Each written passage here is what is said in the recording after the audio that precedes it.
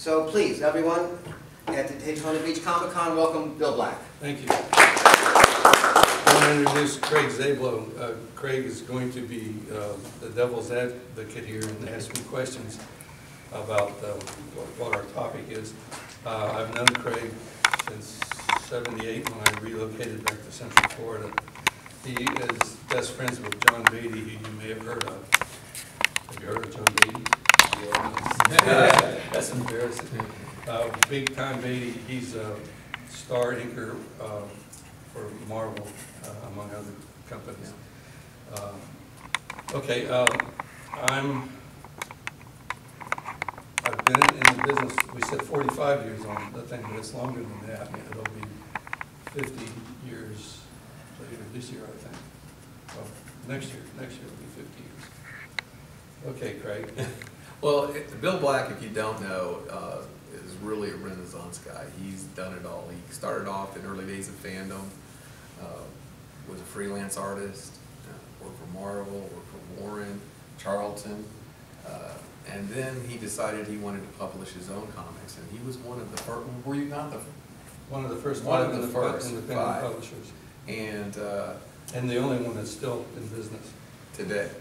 And so he decided, you know, he decided to go in that, uh, in that, in that direction. But we want to make this interactive. We'll, I'll ask Bill some questions first, and then we'll open it up to you guys, because you may have different questions about it, aspects of his career. But in talking to Bill, you really grew up in the time that seemed to me to be the most ripe, because moving in, your, your passions, you guys, one of the things about Bill is he's so passionate uh, about different things, movies, comics, but. That's what this guy was talking about in the last panel. Absolutely.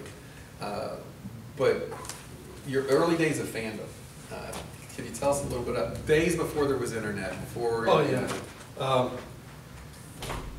I collected comic books since I was six years old.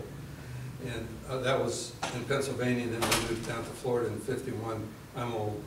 And uh, there was not the excitement about comic books here that there was in uh, Pennsylvania, where everybody, every household had comic books. Um, So I thought I knew about comics and I always wanted to draw comics. And I went to school at Florida State and I sent submissions into um, Stan Lee and to uh, Archie and Warren publications. And um, I got a nice response from fabulous Flo Steinberg. And uh, I dealt with uh, the the people there who uh, actually gave me my first professional job. I was paid twenty-five dollars to do a sample page for Marvel. This was about 1964, 1965. And luckily, they rejected me, and they did not hire me. Uh, That's lucky because um, if you're an artist, you have a very small universe, you're sitting at a drawing table eight or 10 hours a day, and you don't interact with the world. Going to Florida State was one of the best experiences I ever had in my life, and I learned uh, how to cope with the world and to be independent. Um, After Florida State, while I was at Florida State, anytime I would do anything for any art class that looked like comic book art, of course, my professors hated that. And I, uh, I was a big fan of Vincent Price, and I made a point of every art class I was in, that I would submit a, a drawing I did of Vincent Price, which also was not appreciated. Um, After I graduated in sixty-six, I immediately was drafted and went into the Army in uh, sixty-seven. And uh, I um, did samples, I, I- worked as an illustrator in the Army, and I was allowed to come in uh, after hours, had a key to the shop. And I had a drawing table. All my life, I've been blessed with what I call strange luck, and everywhere I go, things get lucky for me. If you've been in the Army or served in the service, you know you don't have access to what I had access to. It was really amazing.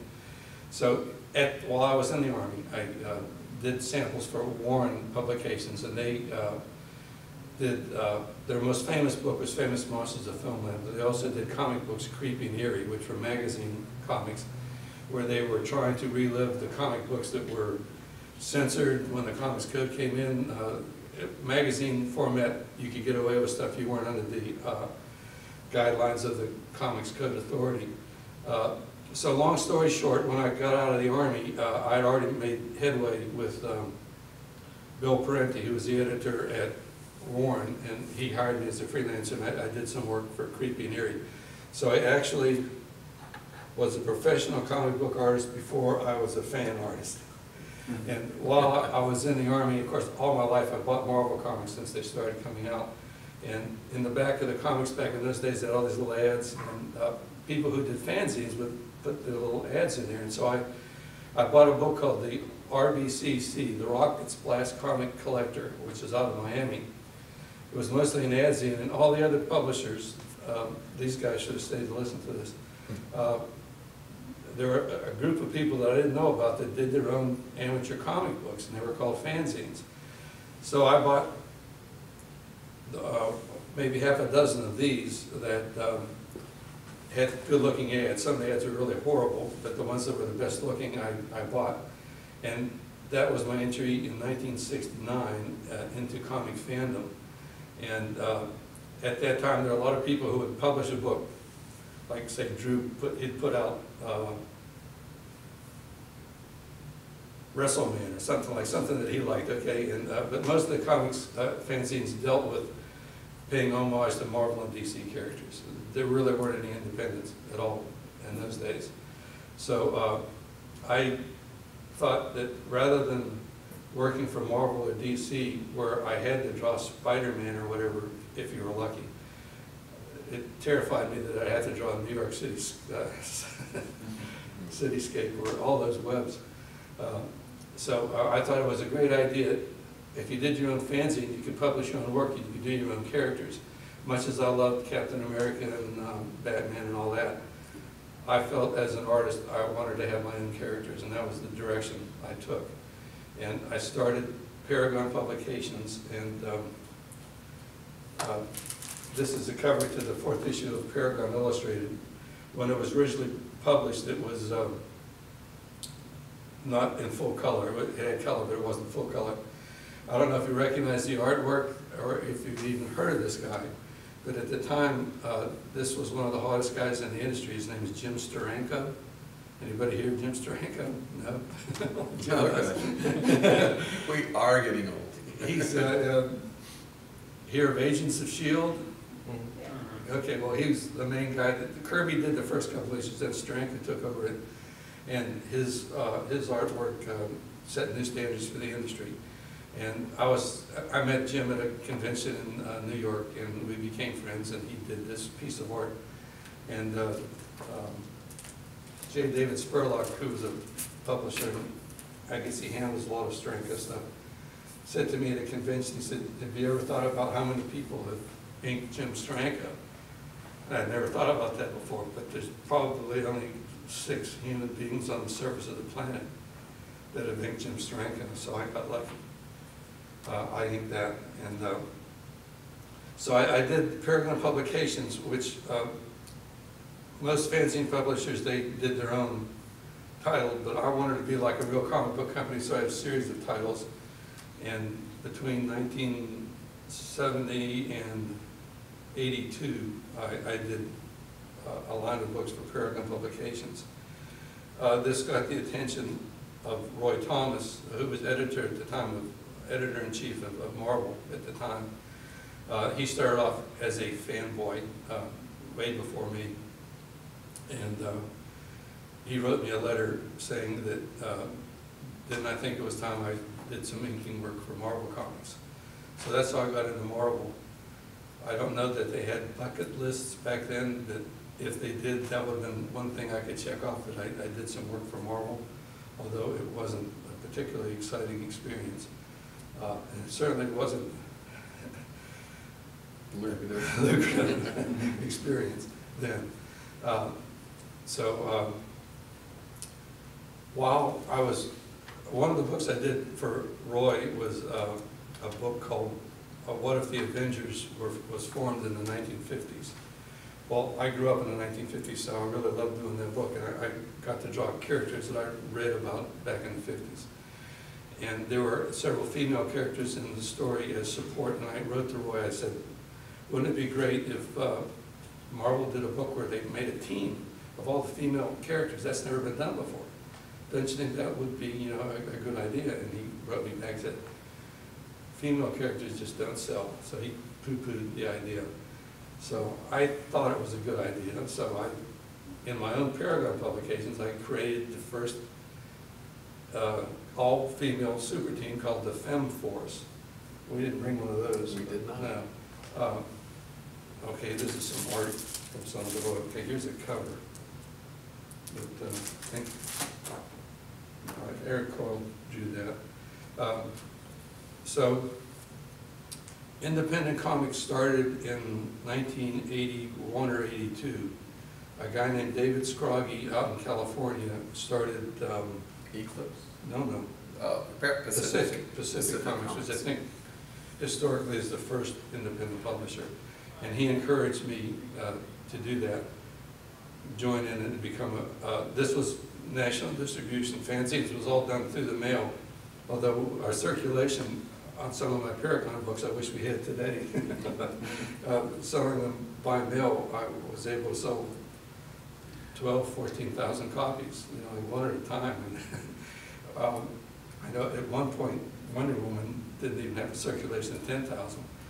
Uh, I, I think it's important to point out too, because the crowd is so young, that, that, uh, there were no computers to do Oh, comics no. on. uh, So when you were doing a, a, a comic back then, the process was much more labor intensive. Yes.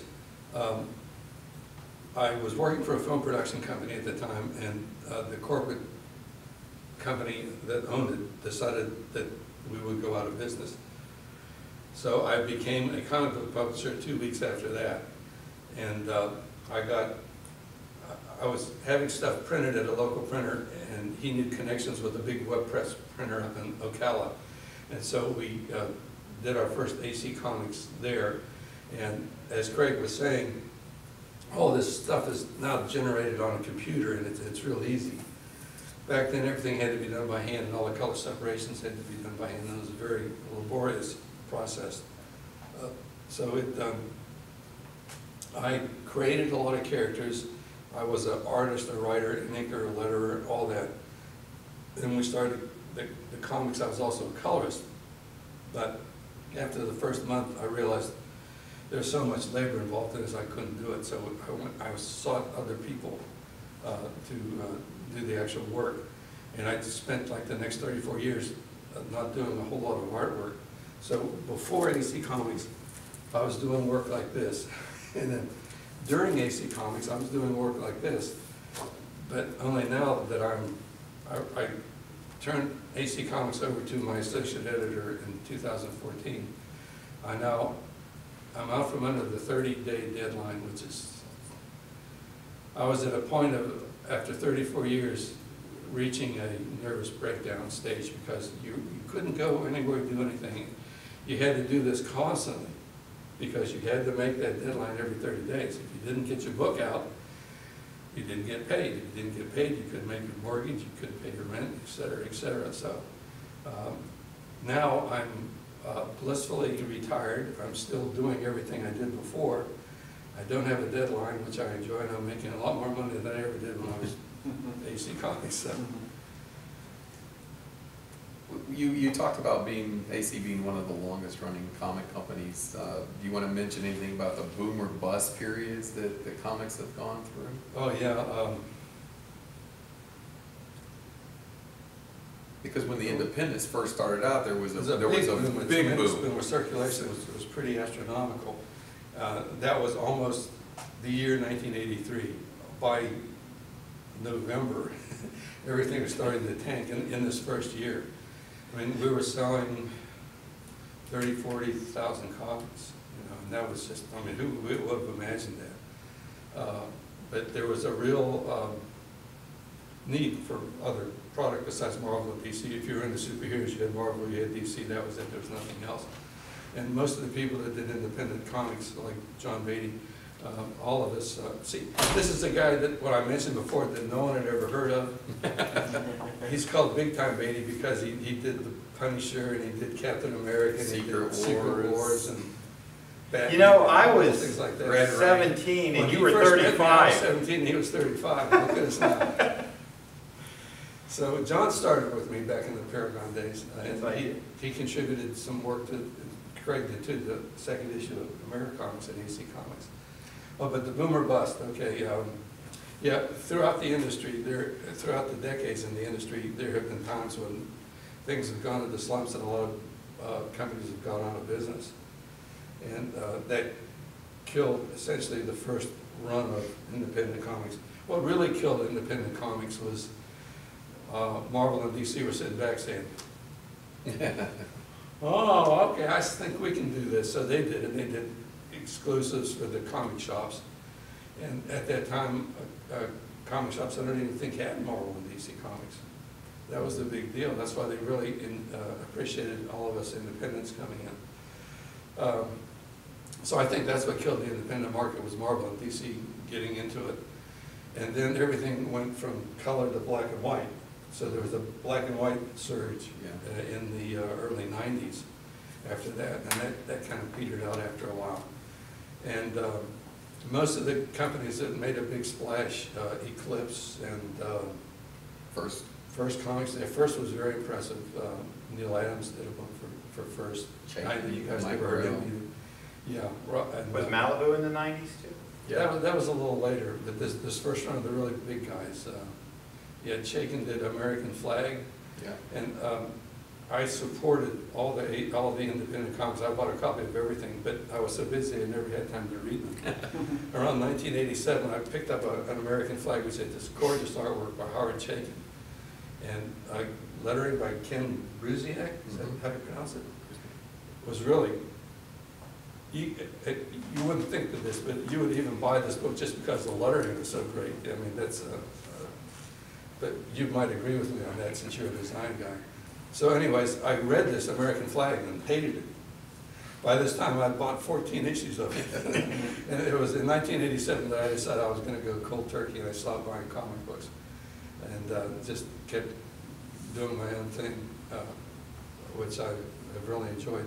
But I, I uh, created a whole line of characters that debuted in 1983 that are still going today. So I, I didn't know what to do for the second month in 1983. Now it's, still going. I mean, uh, we were startled when we hit the 20th issue of Femforce. Now it's at 182, 180. yeah, Next issue will be 182. So uh, You know, you talked about John, over the course of the years, you worked with not only some, you brought in some of the legends to Yeah. work with you. Yeah. Uh, Do you want to talk about any of those? And then we can talk about some of the people that got their start with you. Um, Dick Ayers, I don't know if you know who Dick Ayers is, but in the fifties and sixties, he was a, a, a big force in comics, both as an artist and as a, an inker. Uh, he's mostly known for working with Stan Lee and Jack Kirby on the Marvel comics in the sixties. The Monster Things and the Fantastic Four, uh, most all those books were written by Dick Ayers. Uh, when I was a little boy, he did a book called The Ghost Rider, so he was one of my heroes. And Ghost Rider was a tremendous. Uh, uh, not the motorcycle guy with his head on fire. Supernatural Western. This was a Western guy. He wasn't really Yeah. supernatural, but they, he faked everybody into thinking he was a real ghost. So um, I had started reprinting old comic books around '89. And uh, I reprinted some of those books. I, I got up with the publisher who published the original Ghost Rider, it was Magazine Enterprises. His name was Vin Sullivan. If you don't know the name Vin Sullivan, he was a guy that started out at DC, and he was a guy that started Superman. So he was an important person in uh, the overall history of comics. Uh, And Vin granted me permission to reprint everything that he had done for uh, uh, Magazine Enterprises. So I was reprinting some stuff and some of Dick's work, and Dick got mad at me because he wasn't getting paid the residuals for the stuff I was reprinting, not realizing how little money these things were making. But I, I, I paid him some residuals and said, hey, would you like to do some new work for me? And, and he worked on Femforce and, gosh, almost everything we did. Uh, I, I, by this time, Marvel had stolen the name Ghost Rider, so we couldn't use the name Ghost Rider, but I, I, I had the character, the Western character, and I call him the Haunted Horseman. So one of my thrills was to get Dick Ayers to do another Haunted Horseman story that I wrote. And Um, I think he penciled and inked it, and he, he was one of the few people in the business who penciled, inked, and lettered his own work. And uh, I don't even know how you do that. I mean, he and Jack Kirby were mutants, how do you could turn out that much work. Usually it takes a day to pencil a page and another day to ink a page, and then they send it off to a letterer. So he was a speed demon, but Steranko did a cover for me back in the fanzine days. Um, Pat Broderick uh, did several covers uh, for the AC line. Um, I- Paul Gulacy, uh, I have a big poster that, uh, we did it, we did a uh, Paragon book called Star Films, and Paul did this fabulous drawing. Uh, We made a poster of it after I started AC Comics, and it's available in the room in there. George Paris did a cover for, Oh, yeah, that's a good story, okay. This cover I- that Steranko did, uh, when, when I started AC Comics, it was me. We were doing two or three comics a month, and it was me. I didn't have Fabulous Flo, I didn't have an associate editor, I didn't have anybody else, I was doing everything. So I was scrambling to get material, and I put out an advertising thing, no internet, just we had to mail this out. Uh, We would put advertising inserts in uh, with a diamond solicitation. Uh, This goes out to the individual stores. So I made this little pamphlet together, and I had this drawing that Steranko did for the first issue of Americomics. Well, I didn't have time to say, Jim, hey, I'm gonna do this, is it okay if you, or can I pay you to do this? I didn't have time to do that. I would have done it before the book was published, but at this stage of the game, I hadn't done that. Well, he got really pissed off about that and got mad and uh, refused to allow me to use the cover. Uh, So uh, we were getting towards that deadline at the printers, and like I said, you've gotta get those books out every month. So John and Craig were at a convention, I guess, in New York. No, no, it was in Tallahassee, were we in Tallahassee? Where were we, John? When we met? oh, Gainesville. Gainesville, God, was that close? yeah, it's close.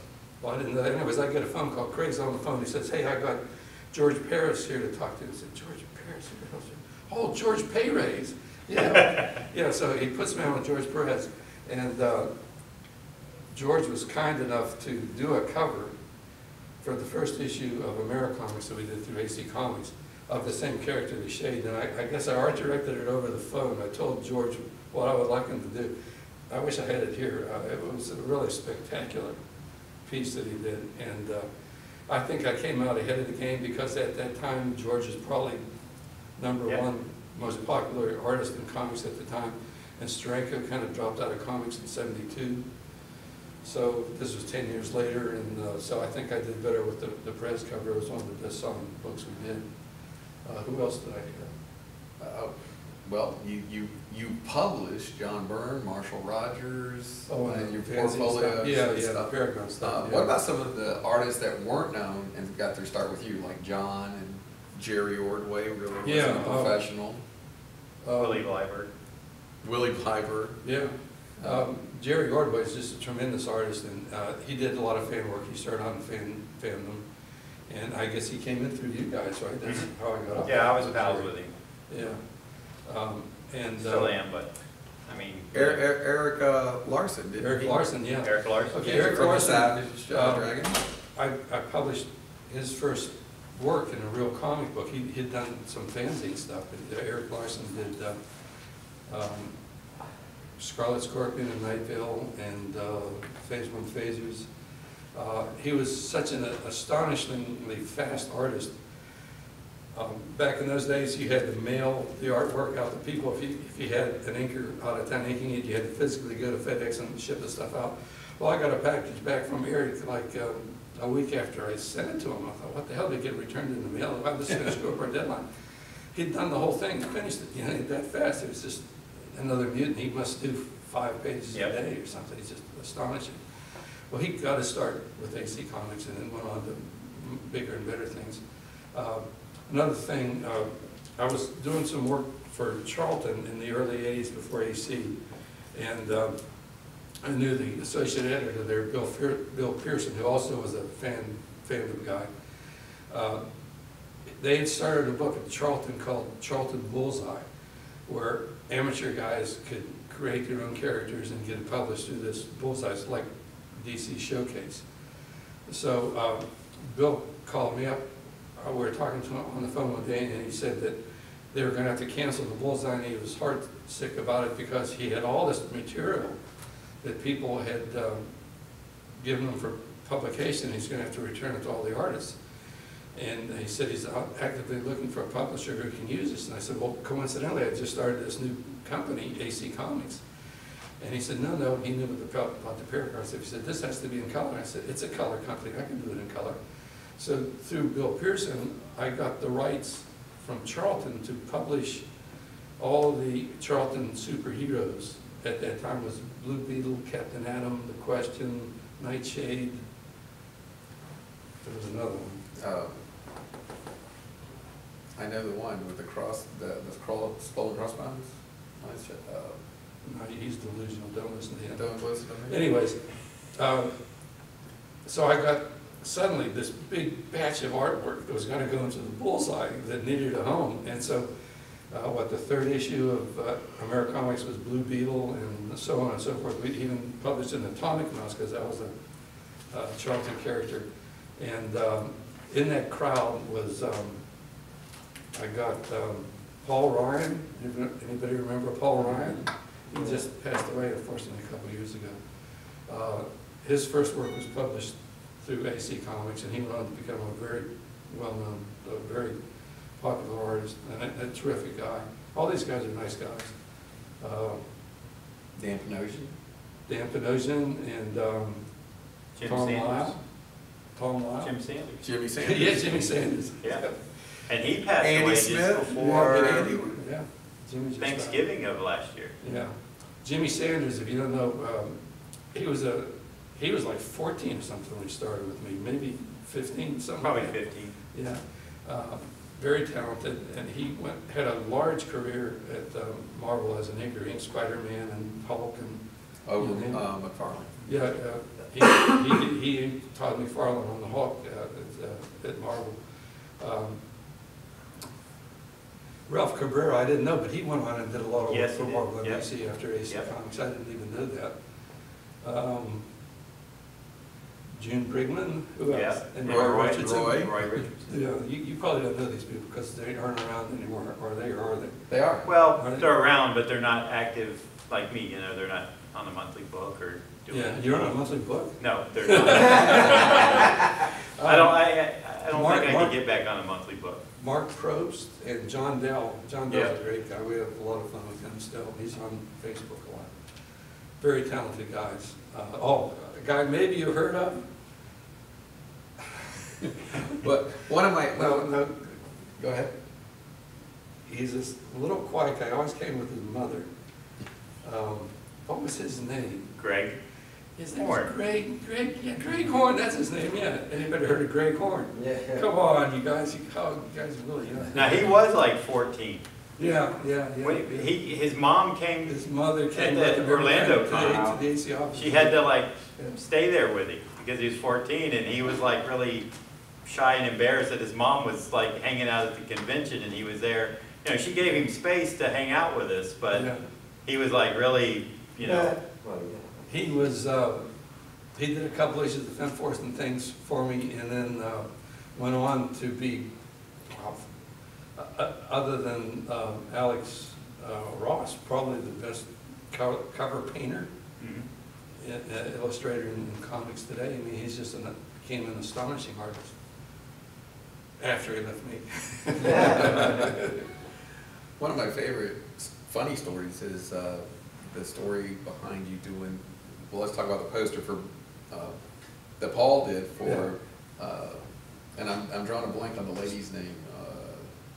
Uh, The character was Sybil called Danning. Black Blaze. No. Oh, Sybil Danning. Sybil Oh, Danning. okay, yeah. We gotta tell the Sybil Danning story. Good thing one How many of you have heard went of Sybil Danning? Yes, Fe- yes. No, Female it's- actress, you. Battle Beyond, the- Battle Beyond the Stars. You know, when I was up with Sybil, it was in 81, 82, 83, and it's what, almost 40 years later, and the horrible thing is I look like this now, and she doesn't look any different. So, so Sybil Danning was a, a B-movie actress, very well known, and uh, I, I got a call one night from her agent, And so I'm at home watching TV, and the phone rings, and I pick it up, and it's her agent, and he's like, um, I'm the agent for Sybil Danning. And I was like, okay. I didn't really know I who was she expecting was. your call. And he's like, well, I, I wanna get in touch with Bill Black, we've got an idea for a comic series, and, you know, I don't know who this guy is, and I was like, yeah, okay, I'll, um, and he's like, well, can you give me Bill's number? And I said, no, because I don't know who you are. And I said, but you give me your number and information, I'll let Bill know. And so a couple days passed, and then I went, oh, Bill, by the way, you get this, you got a call from Sybil Danning, and he was like, what? And so you can, you can take it from there. Yeah, that's when the nightmare started. That's when the nightmare started. Yeah, um, uh, the producer of the film was going to be Mike Frankovich Jr. Uh, Mike's father, I'm gonna name names that you don't know. Mike Frankovich Senior was a big-time Hollywood producer who was married to a one-time big-time movie actress. And uh, his father was Joe E. Brown, the famous movie comedian Yeah. from the thirties. Okay, now Mike is just a couple of years older than me, and we hit it off real well, and we were gonna do this thing. He was uh, with Sybil Danning, and uh, had done Battle Beyond the Stars for Roger Corman, and um, she was, she's a beautiful blonde, very buxom, and uh, very popular with everybody, so we were we were thrilled to do this. Um, But things that sound real good often turn into nightmares, and Sybil was kind of feisty. I never got to meet her, but Steve Nance, who I was a buddy from when we lived in Tallahassee, he's in comics too, or was, was out in California, and he got to meet her, and he got to get kissed by her, and he got to get her to sign all the books and stuff, and, uh, but, um, that was the good part of, of Sybil Danning, and the, the bad part was, uh, um, we needed her to do this black, the character that, uh, was created by Mike Frankovich was Black Diamond was a female spy, and Sybil was gonna be the spy, and she wore a black leather outfit, and Mike took a lot of pictures of her in the outfit, and we made posters of her, he did, and got a lot of publicity on it.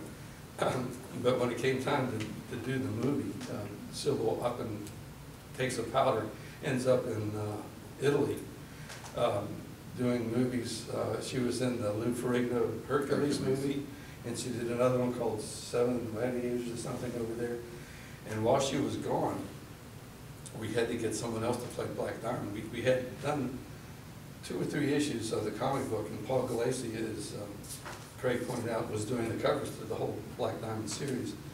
And uh, he was drawing them to look like Sybil Danning. So when Sybil departed, Mike hired uh, Lois Hamilton, uh, who uh, was another blonde and even far more buxom than Sybil, and I never met Sybil, but I met Lois, and I can attest to the fact she was far more buxom than anybody else I'd ever met in my life. Uh, We made these AC t-shirts, and I sent them on an extra small, and, uh, well, that's another story. So when Sybil came back from Italy, she just, the shit hit the fan, boy, she just really pissed off. I, I am Black Diamond, nobody else is Black Diamond. And she called me up and she cussed me out one, up and down, all around, and everywhere.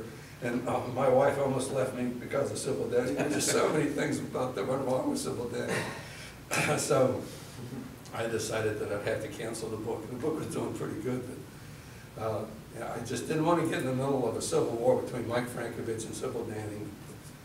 I wouldn't mind getting in a war with Lois Hamilton, but uh, so, is that what you want me to talk? That's what I wanted you to Okay. tell. That's exactly what I wanted. Now, another interesting thing, this guy that called Greg, his name was Scott Dacey, one of the most obnoxious people on the face of the earth. He, he must have gotten this, started selling used cars, but he was that kind of a really aggressive guy.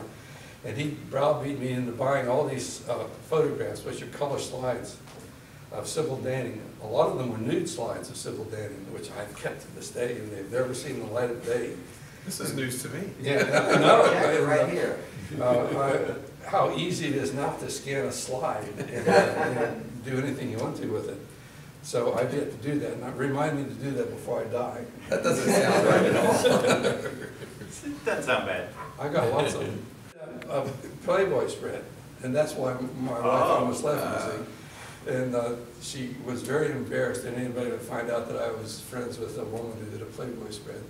I mean, how times have changed. Yeah. Was this around the time too that you were, weren't you contacted by ACDC and John was gonna do something? No, it wasn't a, it was a cheap trick. Cheap trick. Cheap yeah, trick, yeah. cheap Oh, trick. yeah. Why I suffer from tinnitus today?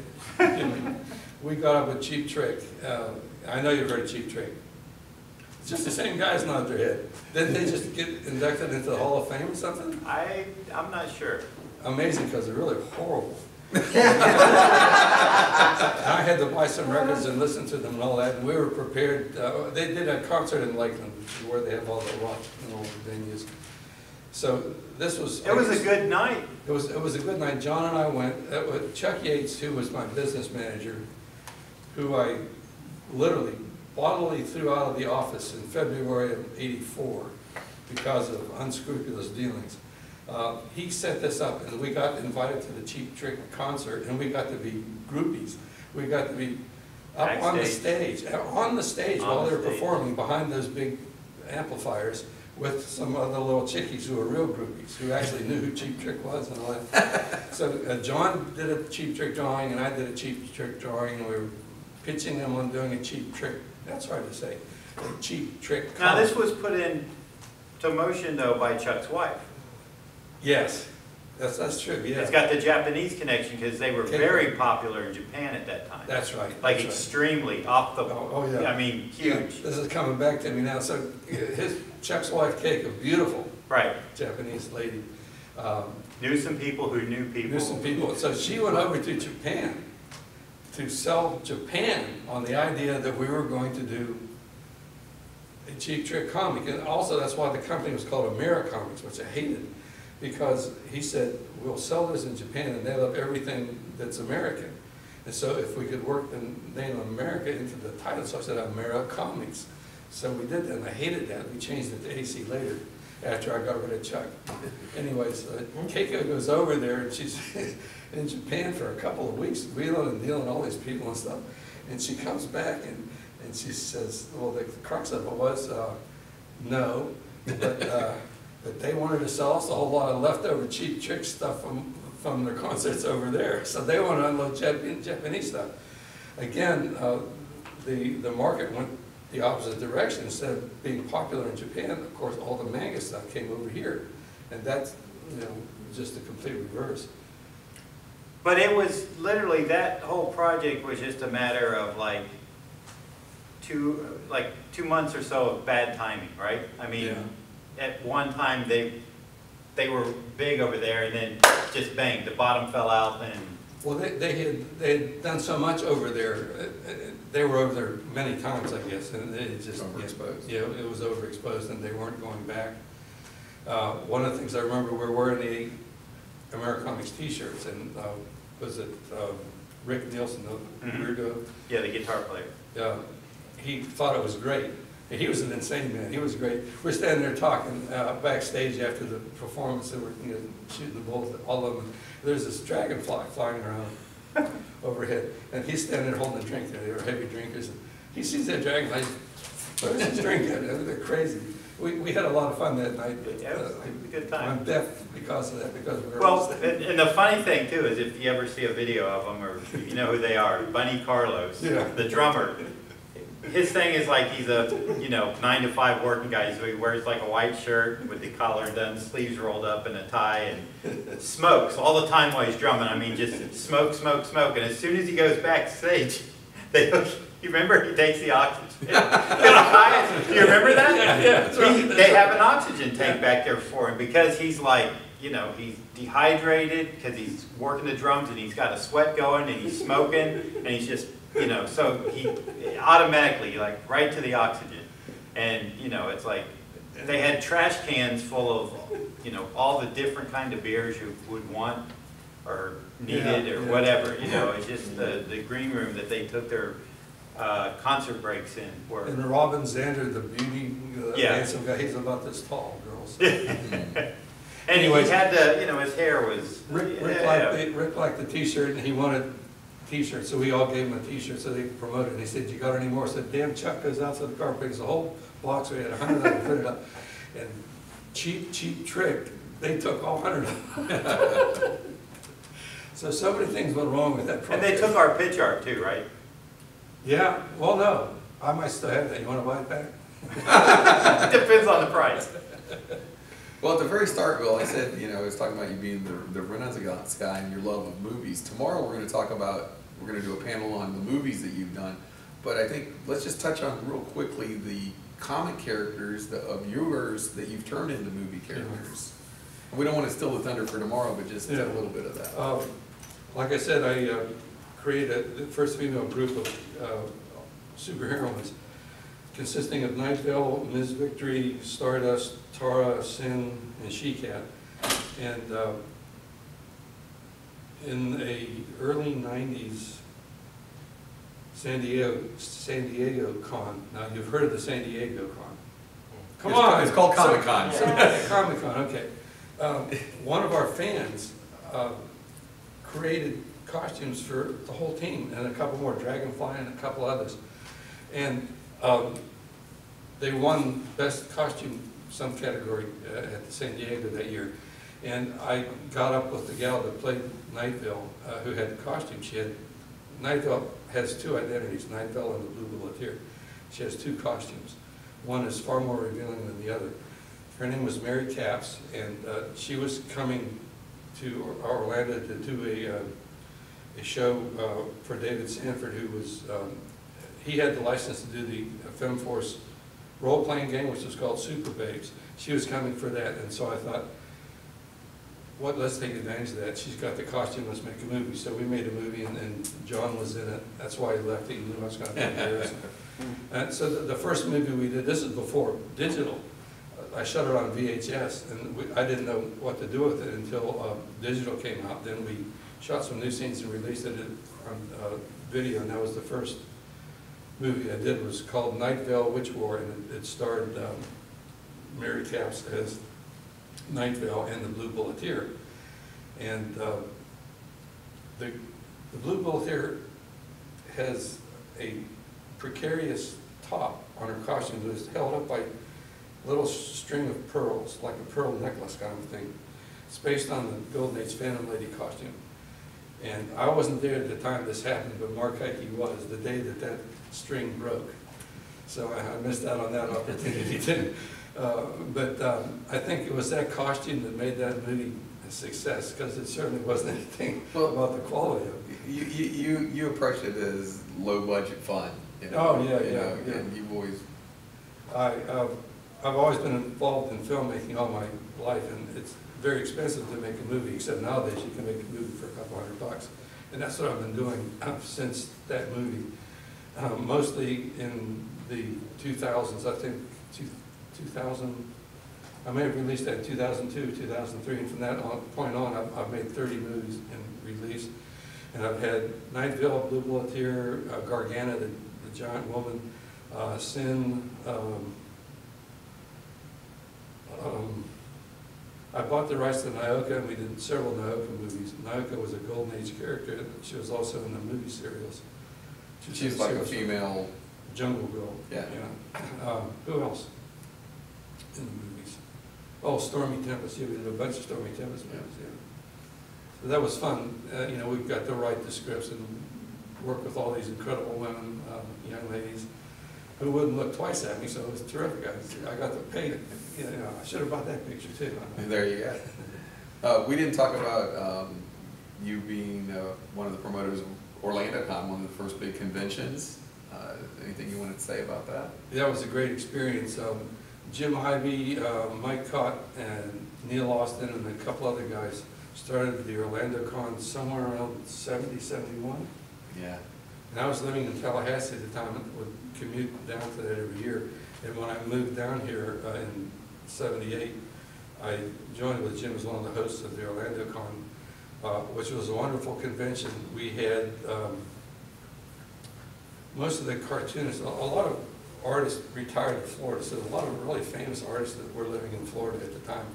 And Jim would invite all these newspapers uh, political cartoonists uh, to come to the show, and we would have a a luncheon every Saturday at the show that all these people would attend. And we had probably close to 100 artists at some of the shows, and uh, over the years, we had some of the biggest names in the business, like Joe Kubert and Will Eisner, uh, uh, uh, Gil Kane. Gil Kane, um, uh, That we are drawing a blank, but, you know, no, uh, Wayne Boring, Yeah. um, um, Martin Nodell, who created the Green Lantern.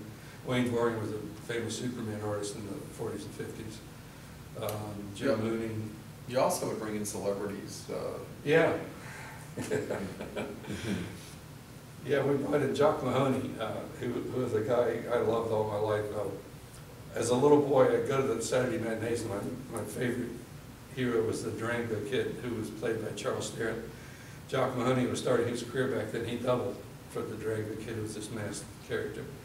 And we had Jocko in, uh, for one year, and I got him to demonstrate how to throw a punch and use Craig as, so he was up in, in front of the audience getting punched by Jock Mahoney, that was a lot of well, my claim to fame. Jock Mahoney was Sally Field's stepfather. That's right. He he married uh, Margaret Field, who was the leading lady in Man from Planet X, okay? Uh, Margaret Field, uh, after she married Jocko, she became Maggie Mahoney, I didn't know that until I got to talk to him. This was 1980, when he was here. You had Bob Cummings, did you, one year? Bob Cummings was before that, and um, Bob Clampett, who did, Clampett, who did Beany and Cecil. Uh, I know I'm talking to people who. They don't know who it is. They were, they were really big things at the time. They were. Well, we've, we've uh, covered a lot of ground. Maybe there's some questions you guys have about any aspect of Bill's career. What advice would you give to someone who wants to get into comics and illustration? You should have been at the last panel, I was. uh, It's, it seems it's a lot of work these days. Uh, It, it, it was really easy for me. Um, Like I said, uh, hey, turn your phones off, man. Uh, I should have announced that, that's my fault. I, I was invited by the editor-in-chief of Marvel to work for them, so I, I, I didn't really even want to do it. Um, But I did it, like I said, because it was something I had always aspired to, but I wish I had done it ten years earlier. Uh, I guess you go through the conventions today, because you're gonna have representatives, are they still doing that? I, I didn't Marvel, somebody stopped doing that on purpose. Yeah, I'd say that, yeah, you, you gotta get your work out there, go to shows, get, and put things online, and, you know, you've gotta have, Instagram. you've gotta have a passion for it. Yeah, I mean, it's, uh, in the, in the, in the big boom days, there was money in it. I don't know if there's any money in it now. Uh, there wasn't any money in it when I was doing it, when I was working for Marvel. My, my page rates were, for, I was an inker, my, uh, inking a normal pencil page was twenty-five dollars. If I had to do some retouch work on it, it was thirty or thirty-five dollars. And if I had to do a lot of retouch, it was forty dollars. That was the highest page rate. And you'd have to, you'd have to spend a day or two, I mean, you, you wouldn't work for that kind of money. Uh, So, I mean, it was something that had to be a passion. Are you an artist? Yeah, I'm studying graphic design and studio art. Good. What, do you have your own characters? Um, I play around with stuff. Right now I'm working with like fantasy, fantasy stuff. I'm doing a printmaking series where I'm making, uh, mashups of different mythical creatures. Or What have you done so far? Do you want to do, publish your own comic, or do you want to work for somebody else, or? I'm not sure, like I'm just seeing what I like, if I like working under someone or making my own characters. I've done stuff like, uh, women centaurs, um, mining mermaids and hippogriffs and stuff like that. Just playing around with different things, trying to get out of my box. Yeah. The guy that was here before, John Crowther, he had a character called Rochelle. He has a character called Rochelle, the teenage cockroach, Yep, right? yep. Uh, He knows Cliff, of Cliff Books in Deland, and through Cliff, he got up with my company, AC Comics at the time. And we put out the first Rochelle, the teenage cockroach story. And uh, let me just say, John really needed a- an editor. And uh, He's had a lot of success with it with other companies, okay? Um, But uh, he really pushed it, and he gave a very inspirational speech on how he did everything to get Roche. I mean, if you can sell the teenage cockroach, you can sell anything, right? So, I mean, it's just, if you go to his table, he has these cockroaches all over his table. It's it's really a repulsive thing, but he's made a go of it. He really has, and he could tell you how to do it, as he was explaining when we walked in on his session. Um, He just does promotions all over the internet, and he sends illustrations of this thing to everybody, everywhere. Back when I started, you didn't have that opportunity. Uh, working in comics in the fifties and sixties, it was really a closed company, a closed club, okay? They were guys that were doing it from the thirties or forties, that were still doing it in the fifties and sixties, and they did it until they died, and that's essentially how someone got in, was if somebody else died. Uh, So, uh, then you had, in the seventies, you had uh, the guys that were fanboys in the, I should say the eighties. The, the guys that were fanboys doing fan art in the sixties and seventies, now are working in Marvel and DC doing the real characters. Um, Like I said, I, I prefer to have my own characters and draw my own characters, so you should, if you have your own characters, stick to it. And I mean, who would have thought thirty-five years later would still be publishing Femforce, but it's still going. I won't say it's going strong, but it's still going. Uh, But I guess just send it out, you have all the opportunities, uh, uh, like, my movies don't sell all that well, but I put the trailers up on YouTube, and some of my trailers have done two hundred and fifty thousand hits, you know. So, uh, I wish I could sell that many movies. But Internet. that's for free. Any other questions? Yes, sir, in the back. How long would it, in the beginning, how long would it take for you to create an issue for AC Comics or FemForce like that? Like, first, like right in the first year? Yeah, the first year, um, it was amazing. Um, um, The first thing I learned is one guy can't do it all because you have, you have to write it, you have to pencil it, you have to ink it, you have to have it lettered, then you have to have it colored, then you have to have color separations made, which we did mechanically back then. Uh, There weren't computers that you could scan things into and- and do it right. So uh, it, it takes a day to pencil, a day to ink, and uh, you can letter several pages a day, and you can uh, color several pages a day. Uh, So I saw that I had to have a, a group of people, it had to be done like an assembly line.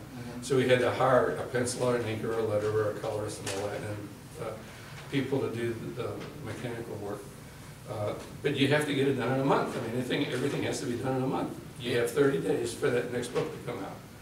So of course, you have to start in advance and have to work at least a month or so ahead of it, so uh, you, you can't be doing uh, September's book in August, you know, it has to be uh, ahead of the game. And This is where you run into trouble when someone misses a deadline and screws you up.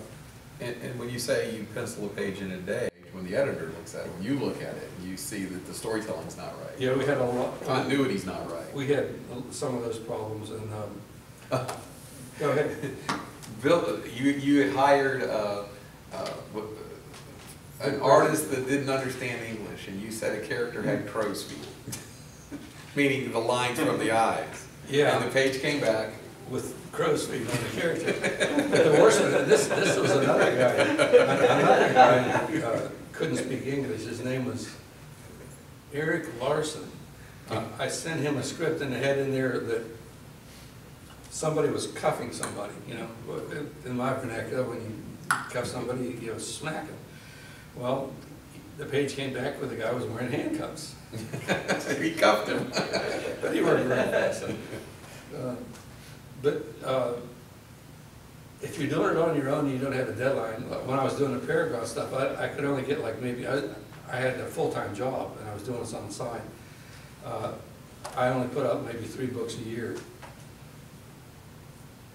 Does that answer your question or?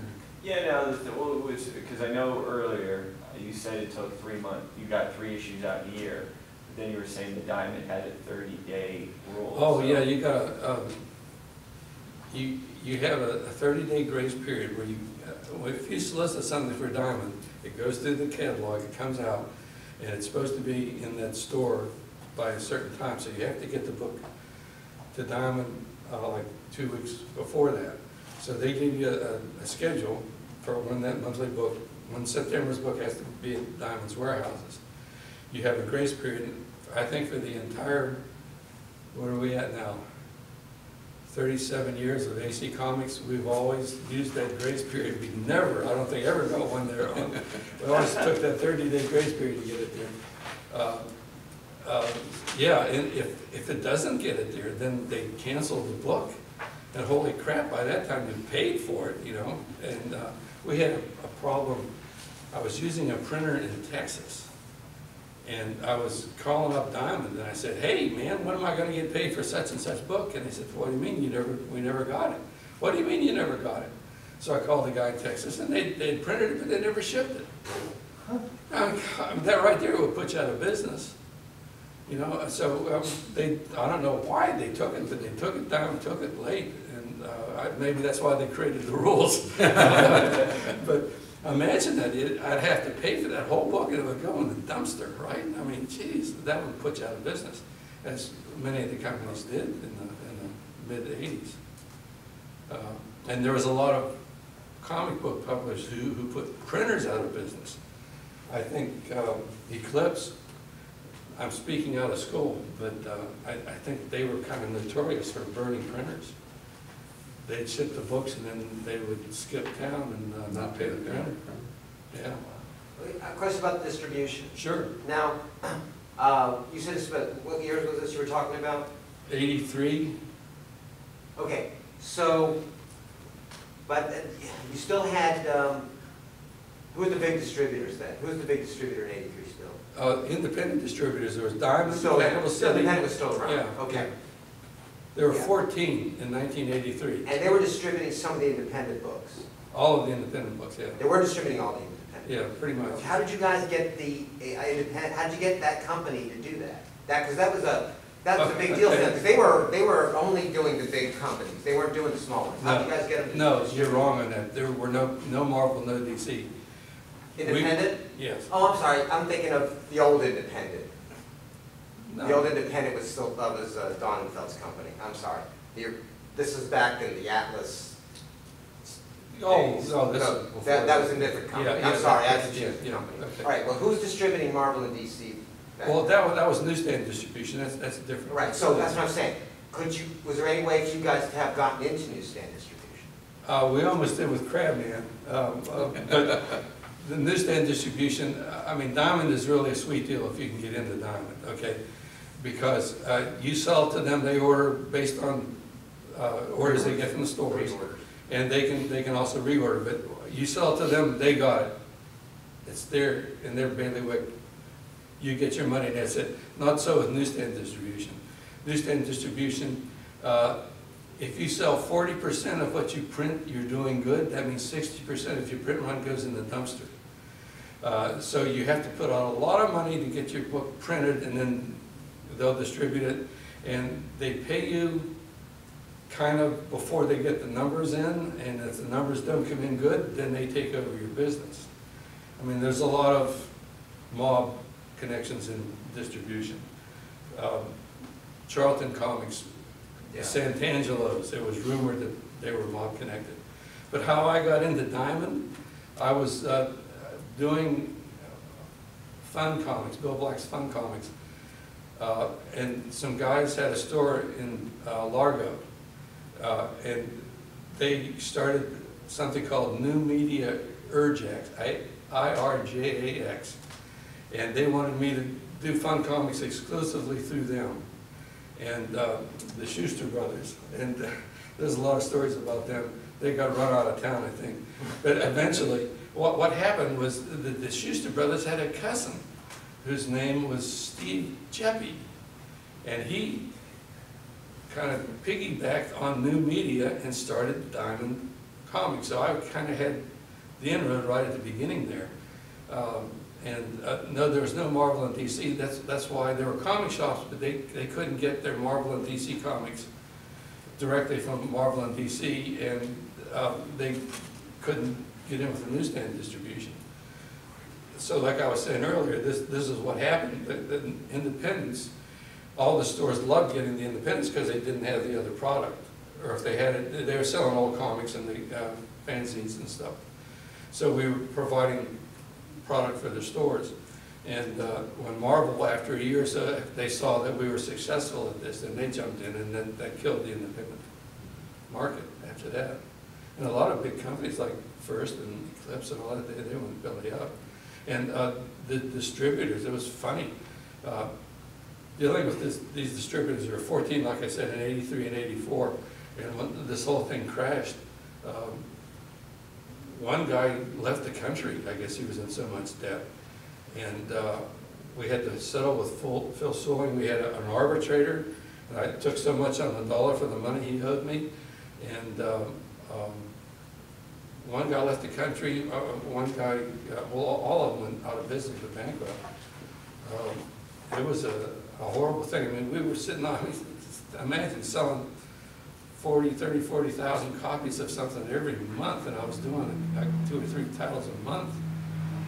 I mean, I, there was a lot of, I won't say I made any money, but I'll say a lot of money went through the AC bank, bank account at eighty-eight. A lot of money. I had, uh, I had ten grand in my business account at all times in, in that year. And then the whole thing just tanked. It was just gone dead. And I, I was lucky that I, I didn't go out of business and, and kept it going. But so many of them did. Yeah. Any other questions? About that. We're done? Yeah. Are we out of We time? gotta- We gotta test the, uh, the uh, projector. Go for it. guest. All right, well, thank you Thanks guys for for coming by. Uh, Tomorrow Bill's gonna be talking about his movies and the people that he's worked with and the fun that he's had.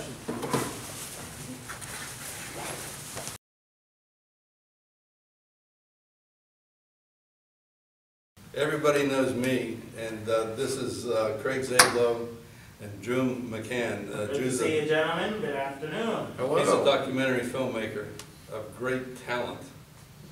And Zablo has been to many movies. That, that is true. Is that thing running? Yeah. Yeah, it's, oh, I'm picking my teeth, so it's immortalized. It's all part the. They could cut that out of the, Well, the part of the experience. Hey, uh, we need to get Joel uh, Joel Wynkoop. and Wynkoop over Kathy. here and his wife Kathy. Alright, And then you're coming, right? sometime, yeah. I was gonna wait till after it got started, but I'll, I'll, I'm down Joel and Kathy. Thank you. Thank you. Alright, bye. Then we can get started. Okay. Start.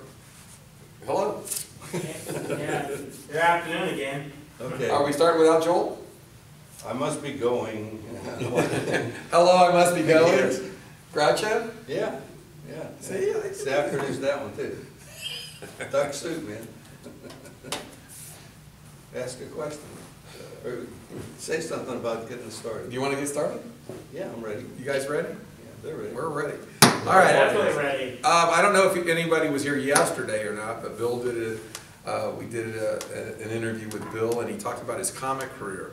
And growing up, Bill was a comic and movie fan, and he's been very fortunate in his life that he's been able to do both. Uh, he started off as a comic fan. Uh, he had one of the, lo- has one of the longest running independent comic companies. It is. It is now the longest running. Yes.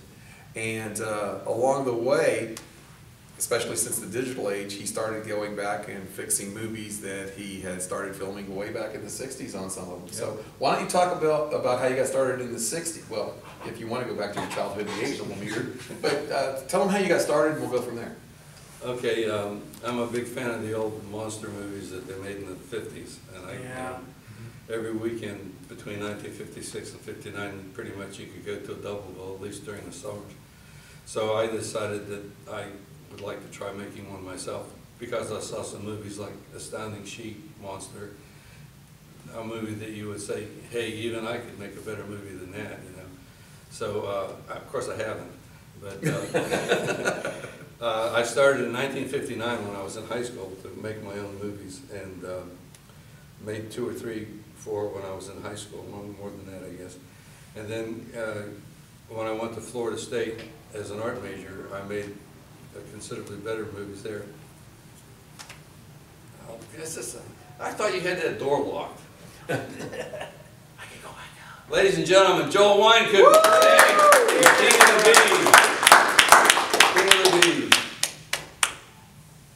Talk what you hear. I'm counting on you. I'm dying up here. I can move it. Yeah, do that. Come on, Come on over here, Joe. Let's just get used to this guy. Okay, forget about what I was saying. Now we got Wynkoop here. No, no, no, continue What? what you're saying. No, it's just a bunch of babble. Um, Oh, you got five movies? yeah, yeah, that- to work. Mr. Two Hundred, Mr. Two Hundred. No, I don't want you to. I don't have any comic books. So there, I got like two. Okay, that's fair. Yeah, that's all I got. Yeah, I got So- over so- I thousand. got a ton of them. Yes, And- Bill, why don't you finish telling how you got started, and Joel can tell how he got started. That's a good idea, There you go. and maybe we'll let Drew say something too. There you go. Okay. Because you got Uh, Captain America shield on. Where I was uh, in, at Florida State, I I made some movies. There was no film program at Florida State when I was there.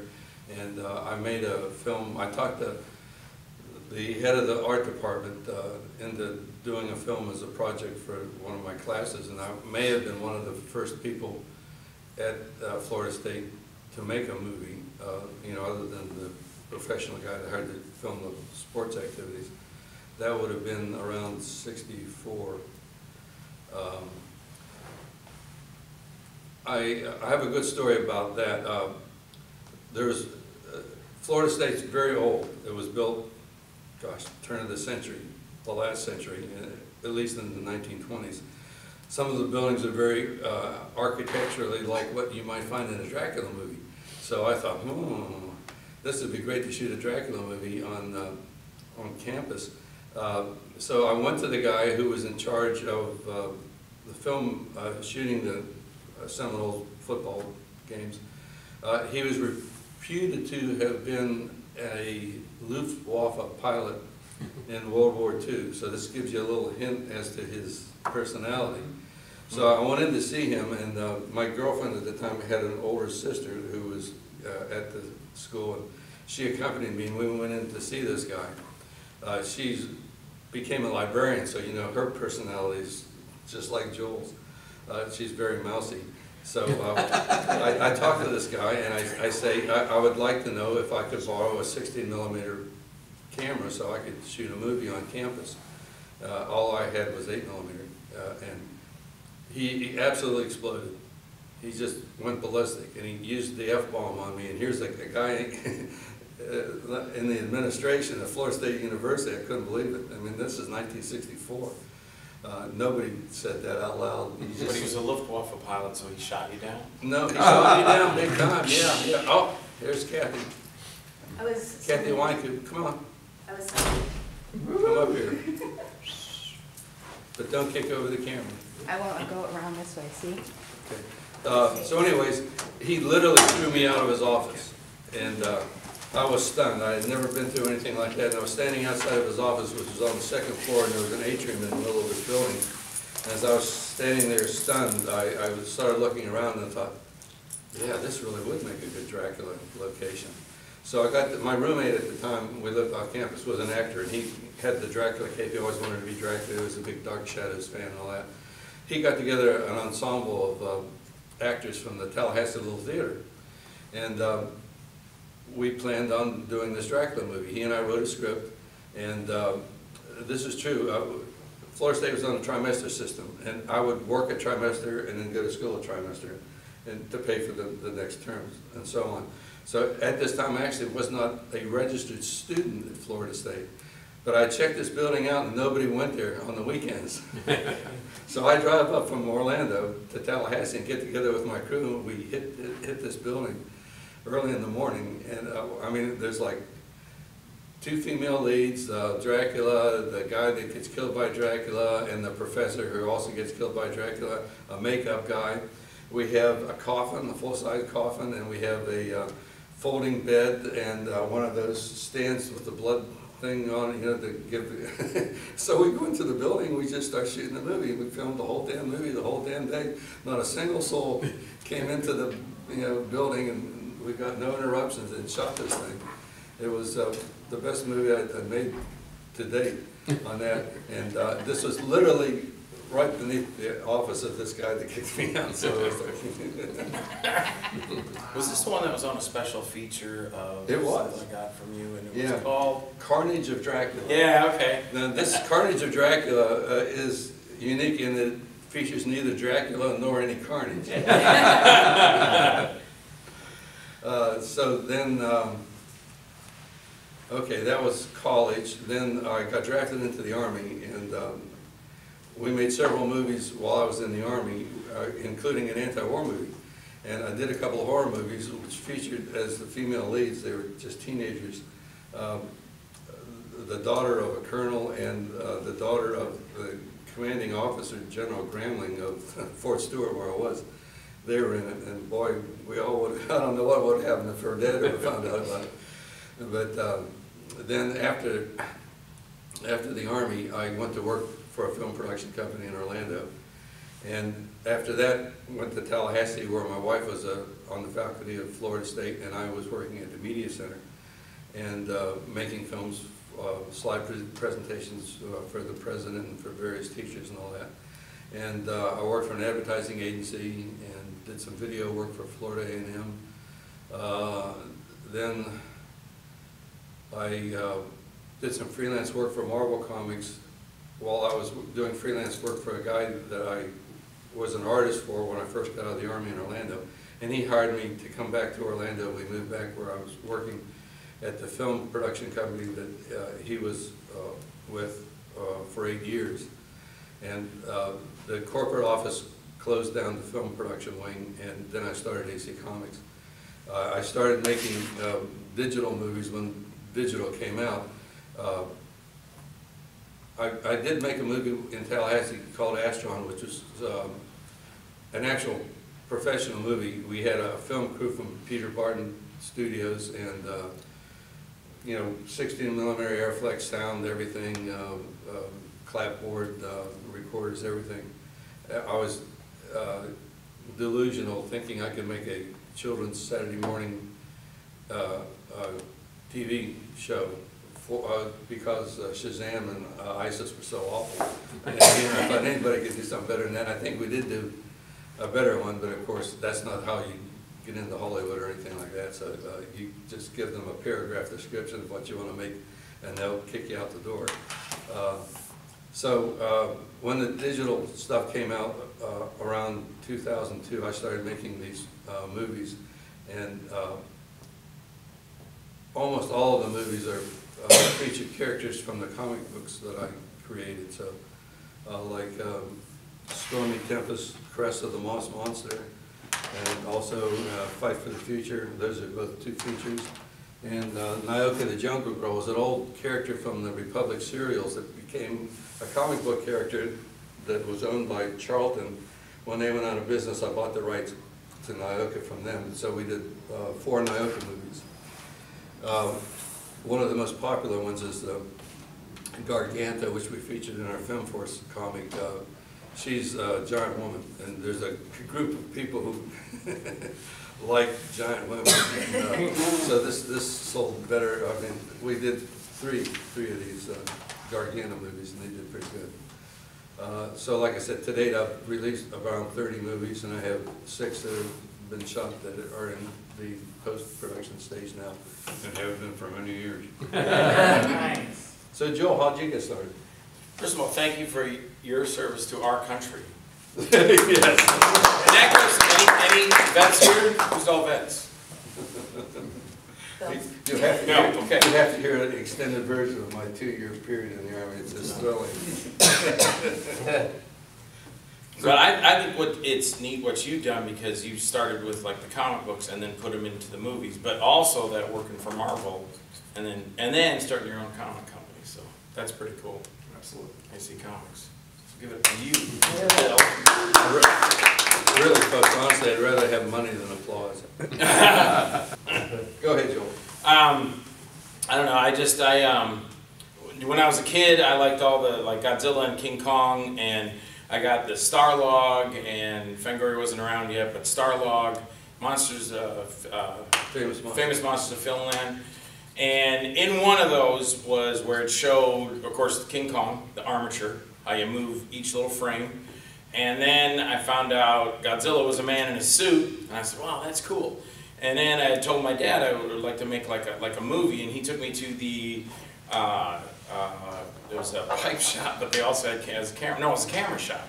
And we bought, he bought me a Super 8 camera, and I went home, and I think the first thing we, I did a little thing for school with a little animated monster, and I put him on my train board, and I would move him, move him a little bit, so when, you know, you do the four clicks just like King Kong was, when it puts together, it'll move across the board. And the first thing I did was I wanted him on fire, so I put this like gasoline all over the creature, and then I lit him on fire. And we're shooting it, and my buddy goes, "How you gonna move it?" I go, "I don't know." And I, I reached in and I "Whoa, that's a good idea." And then I did something to get it moving, but the flame was dying down, and then I had a Tupperware container, and I said, Needs more fire on him. And I went like that, and my buddy goes, No! And the gasoline came out, hit the flame. The flame trailed up the gasoline, blew up the container in my hand. My hand caught on fire. This is when I was in high school. And then spun around, put my hand out. My buddy goes, Man, are you all right? And I go, And now I know how the human torch feels. In Fantastic Four, and he knew that. He goes, Yeah, there's nothing wrong with him. Um, but we did that, and then um, did the yeah, yeah, yeah, yeah, yeah, and then um. I did uh, did did that, put that all together. So the monster, we fi- finally was able to make him climb over the table, and then we had brought dinosaurs into it. I think that was another one we did. My neighbor's dinosaurs. My neighbor, eight years old, Tim Ritter. He had all these dinosaurs, and this is how Tim and I met because he lived across the street from me back in uh, in the 70s, 74 or something. Then we got together, and I think, oh, then my neighbor Steve Campbell, I took the same camera, and then we, uh, Steve and I did a couple of movies where I was like a gargantuan guy. I was in a Oh. lab, and I spilled I stuff, and I was supposed to grow, and obviously you can see it was in, a, in his house, you know, the, I'm like, the big monster, but in the background was the bed. and then we went out in his backyard, and he built this elaborate model city with cars and matchboxes and Hot Wheel tracks and stuff.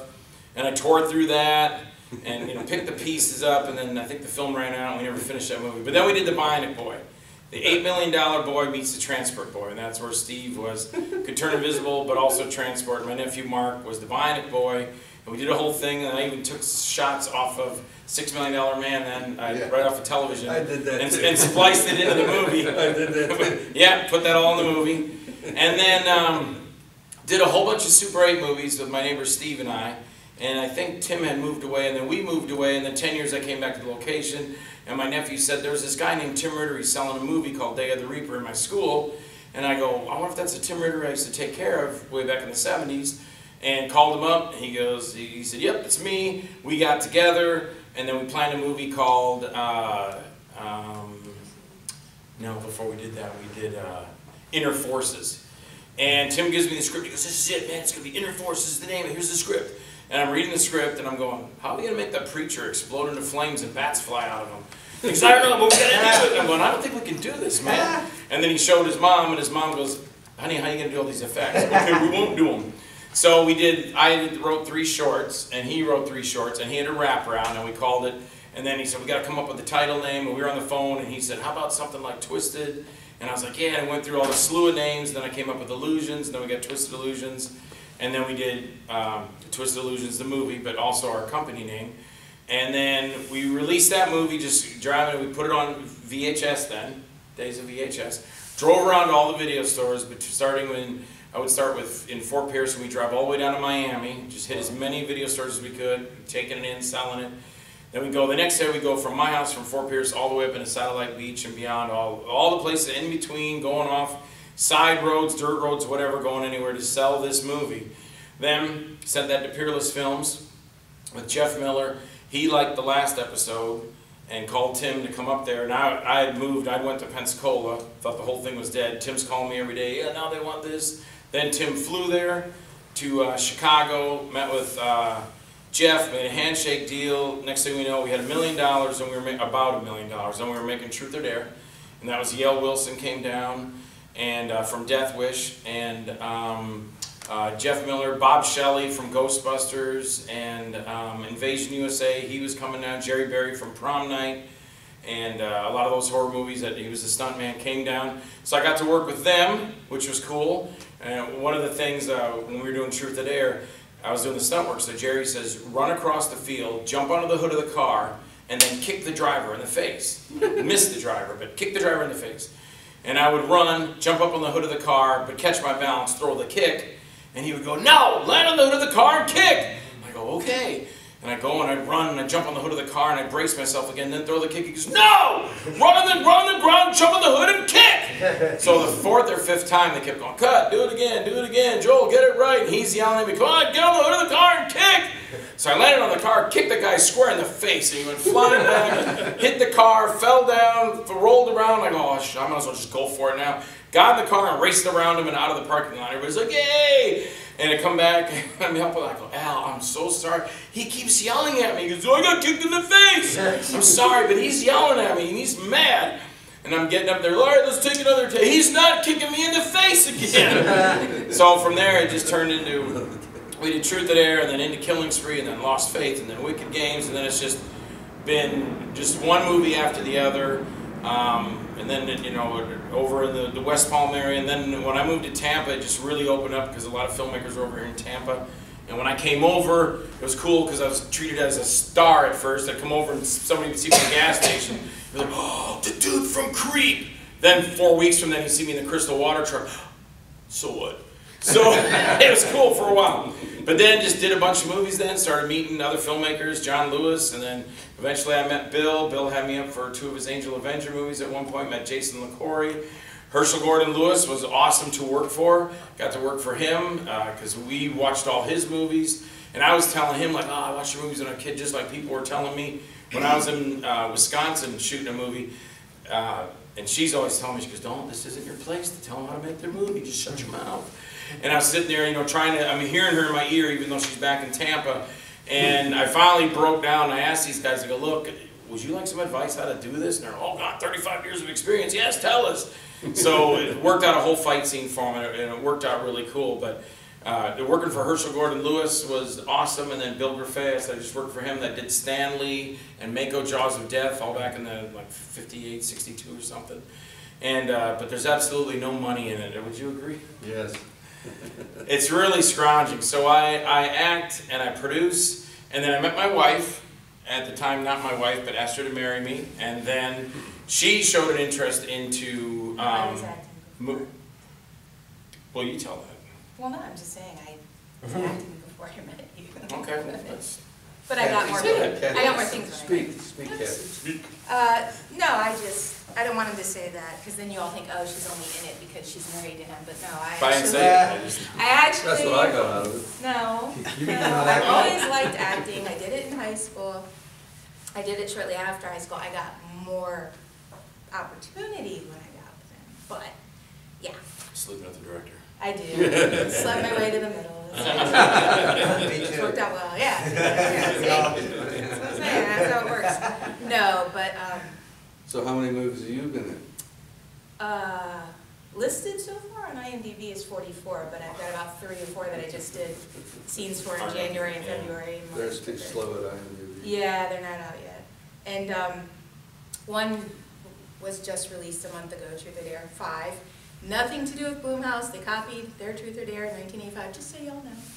This is Truth or Dare Five, right, Truth or Dare Five. Um, and, um, three of the movies that we're in are actually gonna premiere in Tampa at Tampa Bay Screams, if any of, any of you are into horror. Uh, like Animator, Truth or Dare Five, and Discord Three are all three movies that will be coming out. So that's kind of cool, because they come out this year. Sunscreen. Oh, yeah, and next week, if you're in St. Pete, I'm sure we did, called Battle Suit, which is not horror, but it's action and sci-fi. That is premiering at Sunscreen next Sunday, actually. So, So how long does it take to film one of these movies? A feature? film it or get it out? No, film it. Production of it, shoot it. Well, it depends. Um, we did The Bite, which is a full-length feature in eight days. Um, I guess, I guess it just depends on really what kind of movie it is, because we, we did The Wynkoop Tales that had four short stories, and that was over a few years, because it was like, well, one short took a day, another short took a day. Um, Diary of Blood took three or four days, and then Dead End took two days, and then The Wraparound took, what, half a day? All depends on how But it many- just depends on, yeah, how many. Now, how long did it take to write those before you shot them? Well, Uh, he doesn't use a script. yes, I do. But I prefer not. Not to. all the time. But no, in um, in, in just talking about Wynkoop Tales was there was uh, John Miller, who's another filmmaker who did Crack Baby Billionaire, which I'm in, and uh, he called me up. This is before he did Crack Baby and was doing his own movies, Scumbags. Um, he was just starting out doing movies. Yeah, and they're they're really they're Yes. yeah, my, mine might get bloody and, and there's some nudity and stuff, but John's were like really in the streets and drug dealers and hookers and different breed of, but whatever. Yeah. You get the name from scumbags. And so he called me up before he did all these. He called me up and he goes, he goes, I, want, I, want, I want you to be in a movie. And Chris is gone, so I, I bought my own camera and I want you and Kathy to be in it. And I kind of twisted it on him because as we were there shooting it, he goes, I want you to say this. And it was just so super vulgar. I go, why don't just say this? Which is not even close to that. So we did do that. And uh, we just shot that in a day. And uh, Kathy played my wife. And it's, it starts out funny because it's a newlywed couple. And as we come back to the apartment, he goes, Baby, I love you. We're going to move you out of this apartment. Everything's going to be great. And we do a whole schmoopy thing from Seinfeld. You're my schmoopy! And then it, it shows us disappear and it fades to black. And then it picks up uh, seven weeks later. And I come in the door and she's like, Hi, baby. And I'm like, Hi. How's it going? Hi, I lost my job today. And she's like, Oh, no. So then they have a discussion. Oh, I'll get a job. It can't be that hard. And then it's like 14 weeks later, coming in and she's, Did you get a job? No, shut up. I don't need a job. and then it goes into like the 23rd week or whatever, three weeks later, whatever it is. Then he comes home and he's going, well, you've been doing all day, you stupid bee? I've gotten these pennies trying to buy a gallon of milk. Shut up. And then they're arguing and fighting. And then, then he, um, he says, I, find, I found a way to, to get the bills paid. And she goes, Oh, great, honey. And he opens his door, and this big, huge guy comes walking in with a briefcase, and he goes, "You got the Bubba, the money, Bubba?" And he goes, "Yeah." And he hands over the briefcase. I open it up, it's all full of money, and I sell her, and I go, "Now I got all the money in the world." She goes, "Well, now you, now you, now we don't have to move out. We can work." And he goes, "No, you're going with Bubba. I'm, got a ticket to LA." And when that played, there was a guy's horror movie playing at it. This was at uh, the Tampa Film Review, and he had this this real bad guy beating the kids, killing the wife, and, and he showed that it doesn't didn't show it as graphic as, as some of my stuff has been, but then then his played, and then that one played, and then he came up to me, he goes, "Man, you went a lot further than I could have ever went," and something like this. But so we did it a long time ago, and then I, I had that, and then I did a movie for Joe Sherlock called Diary of Blood. He paid me to, to shoot it, edit, and everything. I did it. No, I didn't have to edit it. That's what I was excited about. I sent all the tapes to him because it was all on uh, uh, Sony mini digital tapes. And I sent it to him, and I would call him up every once in a while. Joe, did you did you get that movie done? Uh, no, not yet, not yet. Well, this went on for an entire year. Me saying, Joe, did you get that movie done? Finally, I said, Joe, look, I'm just I'm going to buy all the rights from you, and I want to buy the digital tapes back. I'm going to release it because you're jerking around with this way too long. Okay, Joel, I'm sorry. It's, it's okay. Here- Here's the money, get me the tapes. Tapes come back, three days later, the whole movie's done, cut and put together. I go, it took you a year, it took me three days. And then, so we had that done, and then what was the other one? Cycles R Us Cycles R Us was picking up a friend of mine, Anthony, had moved to Puerto Rico, mm-hmm. back to Puerto Rico. And he said he's coming back from Puerto Rico, can I pick him up at the airport? And Anthony, and you know Anthony Wayne, he worked on your movies too. Well, I went to the airport, picked him up at the airport, went to the hotel, got a cheap hotel room for him, so for him to stay at, and then got a hold of Kathy, uh, Ashley Lynn Caputo, Kelly Helen Thompson, Anthony and I went to the hotel. That hotel was the worst. There was, I don't know what was going on next door. I really You- didn't If you, know. if you watch the, the movie, you hear screaming and stuff in the background, that, that wasn't anything that we did. That's just the atmosphere. But we shot on Steve O, and we shot that in one night, and then when Dead End came up, uh, and this is why I always say, everybody help everybody that's an actor, help each other. A buddy of mine, uh, we were leaving a, a place where we just, uh, were reading his script, and everybody liked it, and blah, blah, blah. He had came back, got, he forgot to drop the key off as he left, he got hit by another car doing sixty, smashed him into a telephone pole, put him in the hospital. The only thing he was concerned, the guy can't even move hardly, and he's like all tracked up and everything. He's like, uh, Joel, I guess I can't do the movie now. And I go, dude, you're worried about the movie? You You're lucky to be alive. And he wanted to get his money back, and I go, no, man. I go, I'm going to give you my script, and you do. And he goes, oh, thanks. What are you going to do? I go, don't worry about me. I'm going to write another script for me. So we had Battlesuit and Nakota. Wait, no, not No, Nakota. dead end. Dead End. And then I wrote another script, which was Dead End, which is that's the one you saw where she she does a lot of fighting. I said, you wanna you wanna fight in a full feature? Then I'm gonna put you through a 20 minute fights thing. So I put her in that to fight with that. And then those became the Wynkoop tales, and then we went up one day to Target printing and copying with my partner's store. Yep, and did the and did the wrapper on there, and I, I went on way too long, but you were talking about. And I never did find out how long it takes you to write a script. Dead End, Dead End took um, Keep them on track. Probably, yeah, you have to keep me on track. Maybe two, two days to write Dead End, a little 20 minutes short. And then we shot it on the property. I kept telling everybody we'll get it done if we stay on my schedule. And we did really good, but we just ran out of sunlight. And I said, everybody can come back. As I said, if we don't get it done, we're going to have to come back the next day. And then next day we came back and shot it. So we finished that whole thing in two days. But it's just a little 20 minutes short. But well, even it was shorter for the AFC. It was 15, and then I added in some other stuff for for my release. So it was 20 minutes. So, but bigger things, Lost Faith took me twelve days on weekends. Um, like the, she said, the bike completely, uh, my partner taught me how to do everything on index cards. So you put down Monday the twelfth, Tuesday the thirteenth, Wednesday the That's fourteenth. shooting schedule, he's The shooting about- schedule, He's yeah. talking about writing. Well, and then, then writing at Lost Faith, Lost Faith took, um, I remember writing that when I was at, uh, Armalini, so. Well, Just give Probably a a couple general months, three- idea. three- three, four Don't months do on Lost Faith. Because, oh, you don't? Yeah. Uh, I would take that script with me everywhere. So I'd go over to my mom's, I had my script out and I was writing the script. Then I went into work and we were doing stuff at Armalini, I whipped my script out and start writing the script. I always carried the script with me. I wish I could do like I did then because I was more, um, uh, Motivated. Motivated, yeah, because I would not, now I'm like, oh, that's too much work. But it just, it just depends on what, you know, if you, you sit- in Nakota, when I did Nakota, I just sat down, I think I, I I knocked that out in a day. It was all done in a day, because the guy kept calling me and going, why don't you just enter in a contest, enter in a contest. I go, I don't want to, I don't, I'm not interested, I don't want to. He came, goes, this is the last night. I go, geez, don't call me no more, I'll write a script. Six hours later, I had Nakota done, and I never thought it would win, but out of twenty scripts, they called me in three weeks, and they go, your script's the best, we're gonna shoot your movie for you.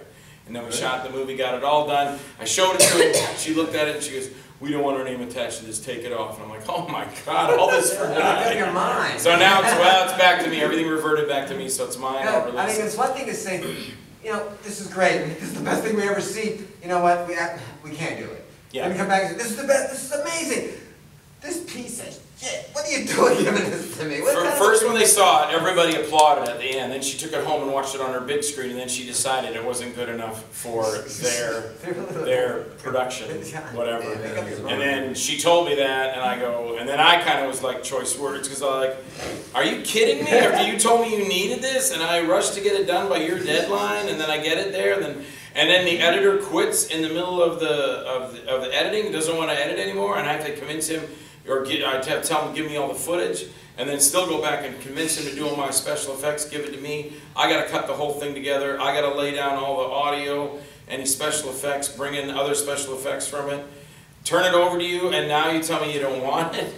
But that's fine, because then I keep it, and then I do That's it all yours. it, yeah. Let's hear from Drew McKinney. Sorry, Joe. Drew.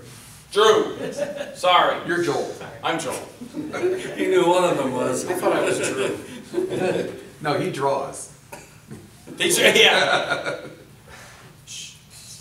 So, um, basically I got into filmmaking, you know, I grew up in the eighties and nineties, so seeing movies like Ghostbusters, Back to the Future, stuff like that, obviously made me want to be a filmmaker. Um, I didn't start making anything until after college, I started making parody movies. Uh, so I made an Indiana Jones spoof, uh, Batman spoof, a Star Trek spoof. Um, after that, I decided to make a mockumentary about the guy that starred in all these spoofs, as if he was a Hollywood star of parody movies. Um, and then that turned out pretty cool, so I decided, well, maybe I might want to try making documentaries. Uh, so after a few years, I did a, a web series for a little while, and then after a few years, I decided I was going to make a documentary. Uh, it just actually finished last year. It's about um, the connection between depression and, and comedy, like stand-up comics. Uh, and then after that, I ended up meeting Bill because I was in one of his movies and wanted to make a documentary about that. Um, Bill, Which movie? Uh, what was it, Garganta? Uh, you were, Okay. you, you were in, um, Amazing Colossal Woman Yeah. and, uh, you were in a couple of, Um, never mind it. I was, Amazing I was the Senior guy at Woman. the Summerall station. Yes, Um, so I, that uh, was good though, that was a good I asked Bill if I could make a documentary on him, and I've been working on that for the last year. seven or Oh, eight years. cool. Um, You're What in made you pick stand-up Am I? comics? Yeah. hmm? Why stand-up comics? Because they seem like, like, to have the darkest side of comedians, um, and I wanted to kind of see what was, uh, like the thing about comics being depressed and stuff like that, I wanted to kind of explore yeah. that, so. Thought it'd be an interesting subject. Um, that's pretty much, uh, what I've been doing. And uh, all, to everybody, what, what do you do for distribution? Joe, you, you, have you had any? Uh, I haven't had it yet, um, I'm still, I'm still, uh, putting my, uh, documentary in film festivals and stuff, I haven't gotten it distributed. Okay. Um, Our first one was uh, Sub Rosa Studios with Ron Bach out of New Jersey. uh, when we finished, um, I think the first, or our first one was Peerless Films out of Chicago with Jeff Miller, because they put up all the money for Truth or Dare Critical Madness. And then Killing Spree, we got a um, uh, investment capitalist, put in seventy-five thousand, uh, sold out movie, and it went to Cannes too. And then the part where the ladies, the head turns into a big pair of lips and go over the guy's head and the milk spills out, everybody walked out of the room. But, um, uh, that got picked up by Sub Rosa Studios, then as we were shooting Killing Spree, um, my scenes were done, so I started shooting Lost Faith. Lost Faith I distributed on my own, and then we went into Wicked Games, and as soon as we finished that, we got our distributor again, Sub Rosa Studios, Ron Bach.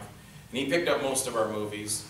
And then a lot of the other ones that I work for are working for other directors who, you know, like um, Media Blasters. They distributed The auto Show until Media Blasters went under. And um, when I, with uh, John Lewis, I think uh, uh, um, Nick Cuddy released that under under his name. And so it was just, and then any of my movies, uh, um, Chris's company, uh, the Sleazebox, picked up uh, picked up a lot of my movies, so they're our distributor.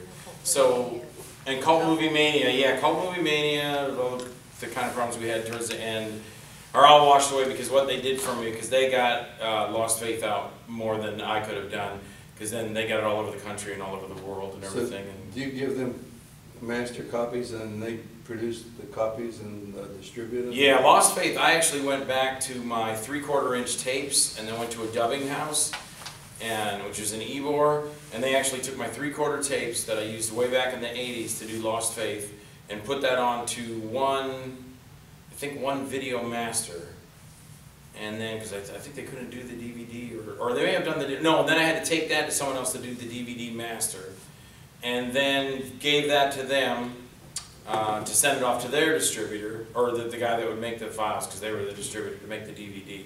But then I even re, took it back and recut the movie again, and then re-released it again through them. So then you get a percentage of what they sell? Yeah, then I would get a, a very small percentage of what they would sell. Because they would sell Lost Faith, of course, they're, they're putting in all the money, they're putting in the, they're making the covers, they're making the DVD, they're making the Glass Master. They're putting up all the money, they're taking out all the ads. So by the time you make something on the movie, I'm getting maybe a check for a dollar a DVD. So it's, it's never a lot, sometimes less, depending on. So, um, the one with Sub Rosa, uh, I kind of signed over my rights to Tim, because it's when we were starting out with Truth or Dare, who, who, who, I would never have thought then I'd still be doing movies now, way back in 1984, doing our first movie, what I ever think would still be doing it. So when Tim says, well, you gotta sign these contracts, you know, just in case, and I would sign it to Tim, so that leaves me out. But my distributor, I have a deal where I can still take my movies to my shows, I can sell them on the website. Okay, yeah. Because he knows I'm not liking competition, because most people are gonna go to the website, they're gonna go to Sub Rosa Studios. If they wanna get it from an actor that's in the movie, that's where I say, come, come get it from the actor that's in the You can sign movie. it. Yeah, Okay, I, um, I have my own website and mostly sell, um, my DVDs and downloads of some of my movies on the website. And also I've contracted with a, uh, Roku channel. Uh, I have, eight of my movies are on three or four Roku channels. And like you said, that really pays great. I, I just got a, uh, I deposited in my PayPal account, uh, for forty-five dollars. that's better than I get. All our stuff, I forgot about that, all our stuff is on Roku, and what are the other ones that are those? Netflix way back when. You Netflix, well, Netflix, we were, Netflix? we were on Netflix. Amazon? When they were still doing, Amazon yeah, we're on Prime. Amazon, Amazon Prime, a lot of my movies are on that. Yeah. But still, like he said, if he's getting forty-five, he's getting a lot more than I get. That's Sometimes I get a check, movies on I, Four different channels. yeah, I, I get a check from Sleazebox. Joel, you did good. I sold some slasher weekends. Here's a check for a dollar seventy-eight. Woo! Rolling in now. And then the Roku channels sometimes are like 78, 85 cents. So I have it on. There's another channel uh, where the guy hasn't contacted me since they gave my rights to Lost Faith back. Lost Faith and The Bite are on it. It's some some website you can look it up and purchase the movies off there. But it's, it's just so little coming in. Yeah, there's, like comics, there's not much money in it, but, um, Unless you're really, really good. what, what I did when I got serious about, um, making movies based on the comic book characters, I didn't have time to do it because I was publishing monthly, uh, I had to get a book out every thirty days or two books out. Uh, and our books are eighty pages and hundred and sixty pages, so it's a hell of a lot of work. Uh, so I didn't have time to do anything on the movie, so I actually hired a guy who was a fan, who, uh, was a, uh, he, uh, as, a- for a living, he, he made websites for people. Um, and, uh, he had never made a movie before, and I asked him if he knew anything about digital cinema and all that, and he didn't, but he learned fast. So, uh, eventually I hired him full-time, to do the movies. And, uh, I started out writing, producing, and directing, and eventually, uh, he did a lot of that. He wrote a lot of the scripts because he knew all the Femforce characters and he knew uh, the ins and outs of what they should do and what they shouldn't do. And that worked out really good. That lasted for several years. Um, And uh, I mentioned the Giant Women, the the fans of Giant Women. It, it takes a lot of time to um, cultivate a cult following, okay? And we did some things in our movies that, as far as uh, cinematic um, expression goes, uh, fails miserably because we had to cater to these fetish people who wanted to see these giant women, and they had specific things that they wanted Oh, to see. God. But it, it paid off because um, we would, we would shoot a movie, we, I could, I, I made several features in three days. And uh, there's a lot of action and a lot of activity going on, and uh, this Fight for the Future, this may have taken four days, but this is the most spectacular one we did, where we have a, a character, uh, Lady Liberty, who is much like Supergirl, and then she gets the airplane and saves it, and Yeah, that was awesome. lifts cars and Yeah, throws cars cool. and does that kind of stuff. Uh, and uh, John Gottschall's the guy I hired, he did all those effects, uh, in that. Uh, So, but back to the giant women thing, uh, he spent most of his time catering, you know, emailing, writing back and forth. So these people would be primed when the movie would come out and they'd buy it. And uh, my movies are very inexpensive to make. Uh, Most of the features are like uh, in the two thousand dollar range or less. Um, Shadow Slayer, which I think is the best movie I made, that cost six hundred dollars, and all the money went to the actors because I had all the equipment and I, I planned everything, so we, we shot that movie in two days. Um, It wasn't a feature, it was, uh, it's forty minutes. So anyways, uh, the fetish people would come through, uh, when we got the film out, we'd get two grand, three grand in, in a couple of days. I'm doing pretty good on eBay. Uh, I love the downloads because you don't have to do anything, they just put money in my PayPal account and download your movie, and I don't have to do anything. But I, I manufacture all the films myself, I have, uh, um, DVD, multi-DVD burners, and I, um, burn the copies and print the discs, and I design and print the wrappers and buy the boxes in bulk and put the material together. So it's a a print on demand. Uh, When someone buys a movie on eBay, I go into my office and make the print and mail out to pretty much the same day. Um, But there's, I I imagine that we'd be making like fifty thousand dollars, you know, on every movie we put up, but that, that never happened. Yeah. And uh, the hardest part about making a movie is getting, if you have five people in a cast, if you get five people together at the same time, that's almost an possibility. Uh, But the production costs today are, are almost nothing. I, when I shot Astron in nineteen seventy-six, the professional film, I spent six grand on that in uh, two days. And then we had to do some reshooting and all that, so it was more on top of that. And like I said, Shadow Slayer was six hundred dollars, and it's a much better movie and better quality, everything, because uh, digital cameras are, are so good today, and, and the editing, uh, editing in sixteen millimeter, uh, Mhm.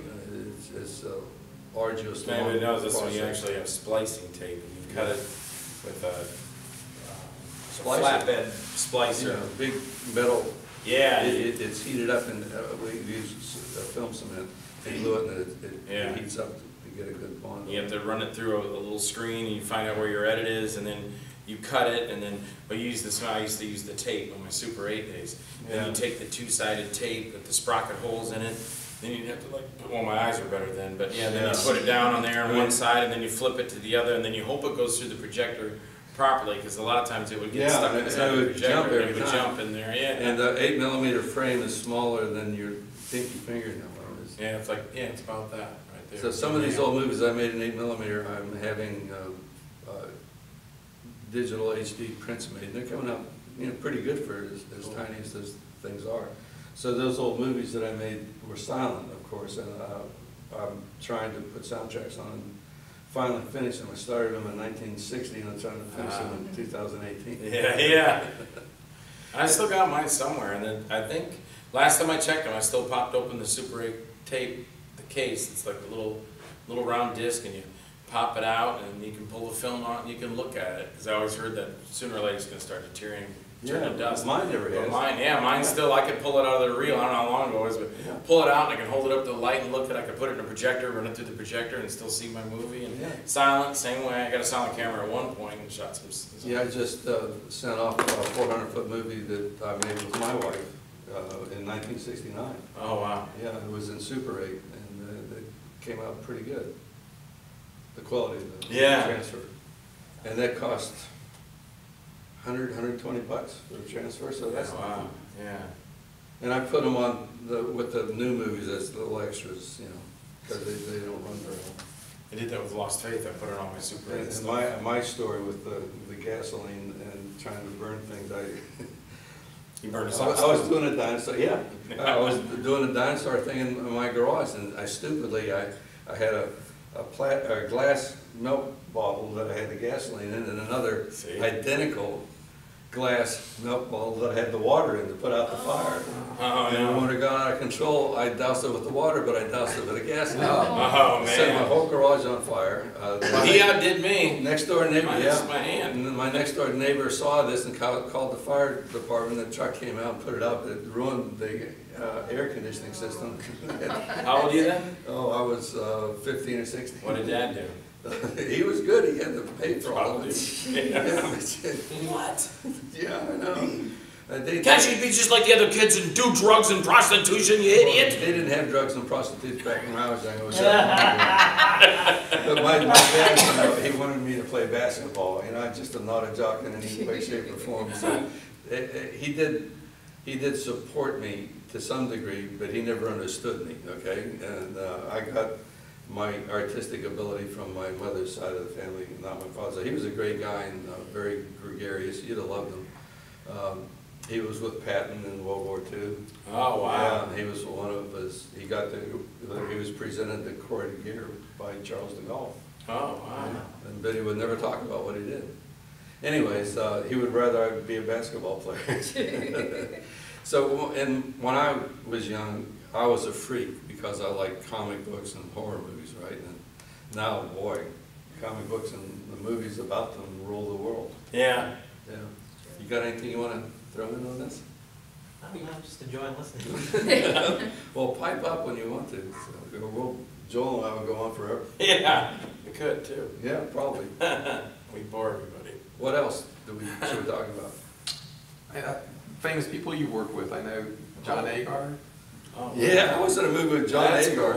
Um, yeah, it was cool. Um, uh, he was one of my ideals because, um, he made Tarantula and the Mole People. and- Yeah. Not Fort Apache. Oh, I hadn't seen Fort Apache at that Uh, time. Um, and he, uh, was in, uh, Brain from Planet Arous and, uh, Hand of Death. That was, uh, we know, um, what's her name? Joyce Meadows. Yeah, Joyce, I met her. She- She's we- wonderful, we- gal. We had her come to the Tampa Theater and we showed the Brain from Planet Arous, so we talked all about that and everything, yeah. When I met her, she didn't look any different than she did when she made the movie. She really was well-preserved lady. How did that come about? Okay, the John Agar thing was, uh, in, um, in Winter Park, uh, where I grew up and went to Winter Park High School, uh, we had a famous movie producer by the name of R. John Hugh, not to be confused with John Hughes, the, the famous Oh, yeah, yeah. the guy who really makes movies. Uh, but our John Hughes, he'd come out of the woodwork about every ten years and get the money together to make a movie. And he made a, a, a pot boiler, uh, it was called, uh, A Crowd for Lisette. Boy, that's a title that would stampede you to the box office. Uh, it was later retitled Lisette, and it was ultimately re-released as, uh, Fall Girl, which, okay, that, that title works. Uh, It was about a young Oriental young lady who fell into uh, the dark side a little bit. There was a kind of family drama. and John Agar was a star. And uh, Greta Chi, uh, she was uh, the Oriental gal in Fathom with Raquel Welch. And Oh, okay, Other yeah. than that, Oh, cool. set, I don't know what else she did, but this was probably her first movie. And, you know, I'm a fanatic about movies, and I was just crazy to watch it. So I stayed, they, they filmed scenes in Winter Park High School, and I was an extra. That's how I got to be in the movie with uh, John Agar. But I would hang around there after school was out and watch them film things. And they, they were shooting Greta uh, on the, the sidewalk in front of the playing field.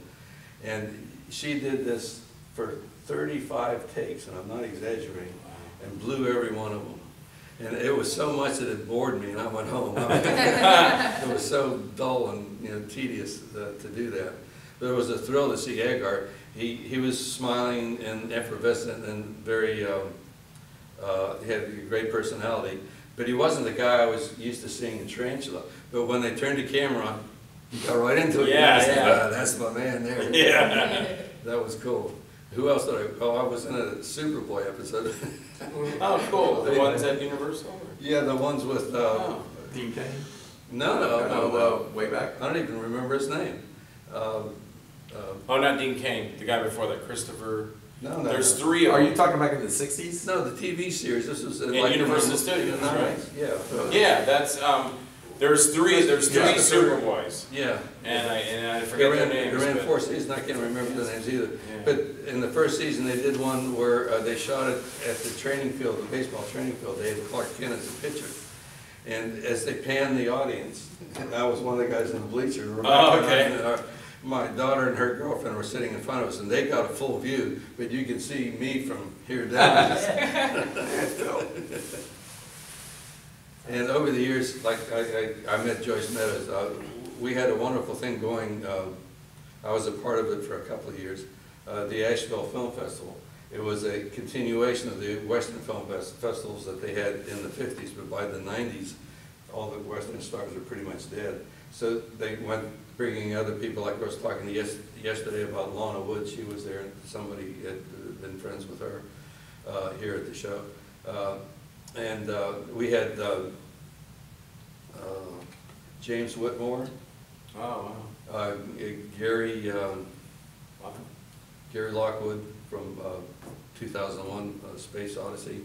I uh, got to be with him quite a bit. and Tell a story about him. I'll bet, yeah. And um, he went to high school with uh, Marlyn Mason, who was the female lead on the James Franciscus series. uh, The guy in the wheel, the blind detective. Oh, Longstreet. Longstreet, Yeah, yeah, that's right. Bruce Lee? Oh, my Yeah. God. Yeah, Bruce Lee did those back back down. Well, Bruce, no, he doesn't count, but he was in it, and so was Mark Richman. Uh, Bruce Lee also was in it. Uh, uh, She had a, like a five or six, maybe ten-year career. She was in a movie with Elvis Presley, and then she retired. And then in nineteen sixty-eight, no, excuse me, in 2000, 2004, when she was sixty-eight, she started making her own movies, like us. Oh, wow. She wrote the story and she starred in it, and she had a guy uh, direct it and put it together. It was a ten-minute short called, called Model Rules.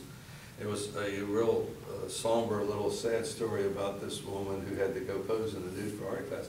And she did these nude scenes at age sixty-eight, so boy, man, she, she's quite a gal, and uh, she does have wrinkles, uh, but uh, to me, she's a- one of the most beautiful women I've ever met. And she inspired me to do something other than comic book movies, and uh, I think Shadow Slayer uh, is closer to what I would want to make. And uh, since then, she's uh, made four or five movies, and uh, all of them have won in various uh, film festivals around the country. Wow. Yeah, and and she's seventy-eight now. Wow, wow. And still going, still making movies. Wow. Yeah. She's making horror movies. Oh, that's Did you hear of Besetment? Have you heard of that? Besetment. Look it up. It just was released. uh, And Oh, uh, okay. weird title, I don't know. They're full feature. Yes, oh, yeah, yeah, yeah. Cool. yeah. And she's the monster woman Oh, wow. yeah.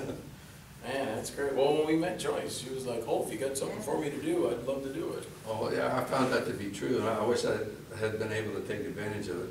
Ed Nelson, who uh, produced and starred in The Brain Eaters, you know, I met him and we, we were very close together for the length of the uh, couple of conventions, and uh, the, the Asheville Festival wasn't like MegaCon, there's like maybe hundred and fifty people there, and I was with the people like I'm with you, I wasn't, you know, there weren't armed guards keeping Ed Nelson Yeah, away yeah, from it. yeah. So I, he, he loved making those old movies for Corman, Attacking the Ah, Crab cool. Monsters. And he, this scene over here, you see the crab monster, I was a crab monster, and you can see my feet sticking out the bottom.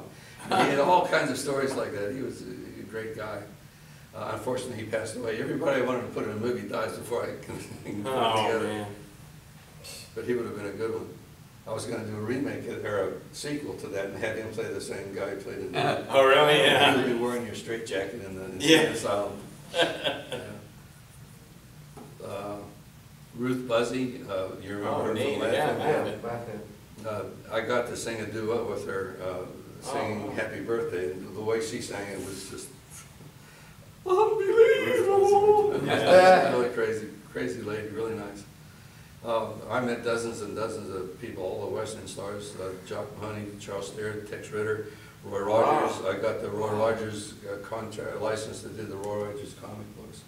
We made a lot of products for Roy Rogers that, that he sold through, uh, the Roy Rogers Museum in Victorville. Yeah, uh, I, uh, his son was his business manager at that time, and they had a, a regular agent, and the agent also handled Lash LaRue, and, uh, I did Sunset Carson, uh, all these guys came in through the same agent. Um, I did Bob Steele, um, Tim Holt, uh, I'm- I'm blanking, I did a Bob bunch of- Jones? no, I, I, I- reprinted one Buck Jones story, oh, Monte Hale. Uh, I became good friends with Monte Hale. Uh, he was a star at Republic in the mid to late forties. He was out by nineteen fifty, but he made nineteen movies. And he was the first one at Republic to do a color western. Uh, and I met him at the first western show I went to in seventy-three. And then uh, I was part of a Western convention that we had in Orlando in seventy-six, and we had Monte in, and Dick Foran, Rod Cameron, Chill Wills, a lot of big-name guys. I just made an audio recording of that, and we've been buddies ever since. And um, he passed away uh, a couple years ago, Uh, but that was a great experience for me. He called me up on the phone, you know, every month or so, and he was just thrilled every time I put one of his little comic stories in one of my books. Mhm.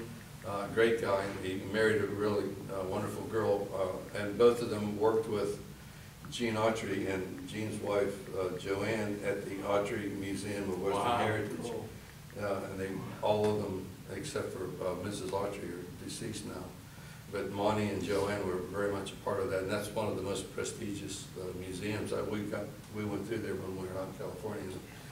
It, it isn't, uh, uh, there's a room about movie cowboys, most of it's the real west, like they had the actual jail cell that Billy the Kid was incarcerated in.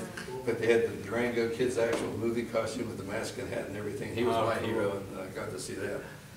And also, I got up with Jock Mahoney, who doubled uh, uh, Charles Starrett, who was a Durango Kid. And he was Ranger Rider on TV in, in uh, uh, Yancey Derringer, and he was the thirteenth Tarzan. He did Tarzan Goes to India and Tarzan's Three Challenges. And After Johnny Waxman? Oh, yeah, yeah. oh, no, no, yeah, yeah, after, it was in the sixties. And then Ronnie like came after them. Yeah, well, he was a TV guy. There was, uh, Cool. Mike Henry was in between Jocko and uh, Ely. And Wow. uh, Jocko did a couple of guest shots on the Ron Ely TV show. He Oh, really? our buddies, yeah. Oh, that's cool. And when we had uh, Jocko at the Orlando Con, I had him demonstrate, you know, throwing punches and stuff, and I used Mr. Zablo there as the punching bag. Back in the day. And the other celebrity that I was very close to was Irish McCalla, who was uh, Sheena in the, in the fifties, the first Oh, TV okay. Sheena. Yeah. Boy, that was fabulous. Uh, she was a great guy. She called all the time too. She'd tell me all those wonderful stories uh, that uh, I wish, we, I, I I went together with Bill Feret, who really is knowledgeable on uh, jungle-themed movies. He wrote a book called uh, uh, Lure of the Tropics, T-R-O-P-I-X. And it was through him I got up with Irish. And uh, we wrote this book on her, and then we premiered it at one of the Tampa comic shows. And she came down for that, so I got to meet her and be with her and all that. Is that the one with the double tree? Uh, no, this was before that. Or Minreg building? uh, I don't know, it was uh, Doris and Dawn, I can't remember the last name, was it Sun Con, as you know? Oh, oh, Doris's Yeah. show, Yeah, okay. Yeah, yeah. She, Doris had a couple at the Midway, that's where I met Conrad Brooks, but Yeah. if it wasn't at the Midway, Conrad that's Brooks. Doris. Yeah. Our Real short short lady. Yes, very short. Yeah, yeah, she ran her own shows Yeah. for her husband, yeah, cool. So, uh, Irish, uh, she's five foot ten and a quarter and thirty-nine and a half, twenty-two, thirty-six. Very statuesque, in my opinion, one of the most beautiful women that ever lived. Uh, She was a cover model and was on hundreds of magazine covers. Fabulous face, and the camera just loved her. And uh, Paul Power, another artist, and he's a storyboard artist, he, he worked on uh, some Schwarzenegger movies and a lot of big movies. He was there too, and with Chic Stone, a Marvel artist. The four of us were guests at at Doris's show that year. And uh, of course, uh, Paul and I uh, were just drooling over Irish. Paul's about this tall. And uh, we're walking down the corridor and Iris is in front of us. And I said, boy, look at her. You know, we always talk about her upper attributes, but I said, look at her waist. I mean, for her age, I mean, my God, look, she has a real slender waist. He said, he was uh, from Australia. Yeah, Mike, you know, she really does. Hey, Irish, you know, I'm always meant to compliment you on the smallness of your waist. oh, she says, Paul, and she grabs and hugs him. And now he's this tall and she's this tall, and his face went right where. Yeah, he planned that, he planned that. Yeah. Well, I, you son of a bitch. The, the time's really flying by, we're almost done, but you might want to ask if there's any uh, questions from the audience. On the peanut gallery? No? No? Beatty got bored and left, and another lady did too. Do you want to say anything more? No? Nothing? What? Okay. I know you want to say something. So say something. Maybe you want to say something, something? Go ahead, baby. Something, something. Something, something. Okay, I'll tell you one of Iris's stories that she told that also involved Jock Mahoney. I, I found a magazine, uh, one of those movie magazines from the fifties, uh, where they would have photographs of the stars in their leisure hours, right? And they had a spread on the time that Jock Mahoney asked Irish McCalla out on a date. So I asked her about this one time when she called up. And she said, yeah, uh, it was really neat. Uh, he's real tall, 6'3", so he was a perfect match for her. I mean, they were, would be an ideal couple.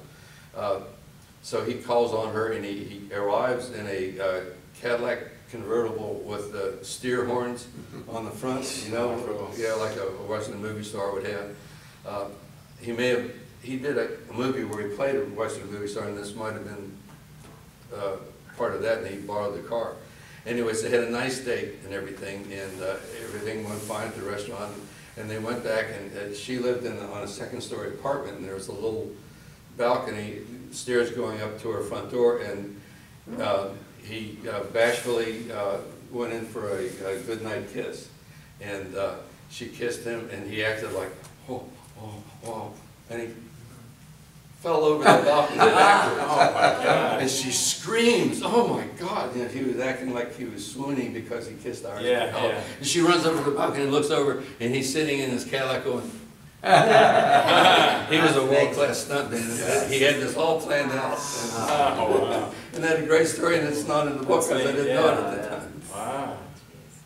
Yeah, he was a great guy. Uh, He, uh, he doubled for the Durango Kid, and uh, um, he would always be the guy in the costume that would jump off the roof onto the horse. And I said, Jocko, how'd you do that? I mean, didn't that like ruin you for life when you Yeah. sound like that? And he said, no, what you do is, is you come down with your legs like this, and he had real strong leg muscles, and he, he hugged that saddle so that it eased himself in on those last few Yeah. inches and saved himself. And he said, uh, you know, Durango had four horses. And I said, no, I didn't know he had four horses. His horse was a white stallion named Raider. He said, yeah, there was Raider, but there was three others, and one would be good for posting for pictures. Oh, yeah. One was good for doing the stunts, and one was good for uh, being in the movie and all that, and I forgot what the fourth one was for. But uh, he said, but this one horse had done so many stunts that uh, he was wise to when they were gonna do it, and he didn't pretty much like the idea of a six-foot-three guy jumping off the roof onto his back. So they had this scene coming up, and uh, the horse was balking and whinnying and was not cooperating, would not stay in the alley where he was supposed to be. So uh, Jock Mahoney went to the uh, uh, director and the uh, the cameraman and said, listen, I gotta wait, I I think we can do this. He said, break for lunch. Send everybody away, you just stay on the camera, and I'll get up on the roof, and the horse will settle down, and it worked. The horse just, and then, a minute. Yeah, those are the days. That was good. We, uh, I knew uh, an author, David Rothel, who lives in Sarasota, and he taught at a school there, uh, film classes. And he had Jock Mahoney out from California, and he knew I was a fan of Jock's, and that, uh, that's, this is how I met him. And I had several of his films, uh, Tarzan's Three Challenges and some Range Riders and uh, Yancey Derringer films. So I went down to Sarasota and met him, and then I, I got to take him to his hotel rooms. He autographed it, not an eight by ten, but a eleven by fourteen, still Wow. from Range Riders, yeah, and, uh, we chatted it up quite a bit, and he would call me occasionally too. Then we had him at the Orlando Con, uh, with Gil Kane, the same show, Yeah. boy, that was a winner.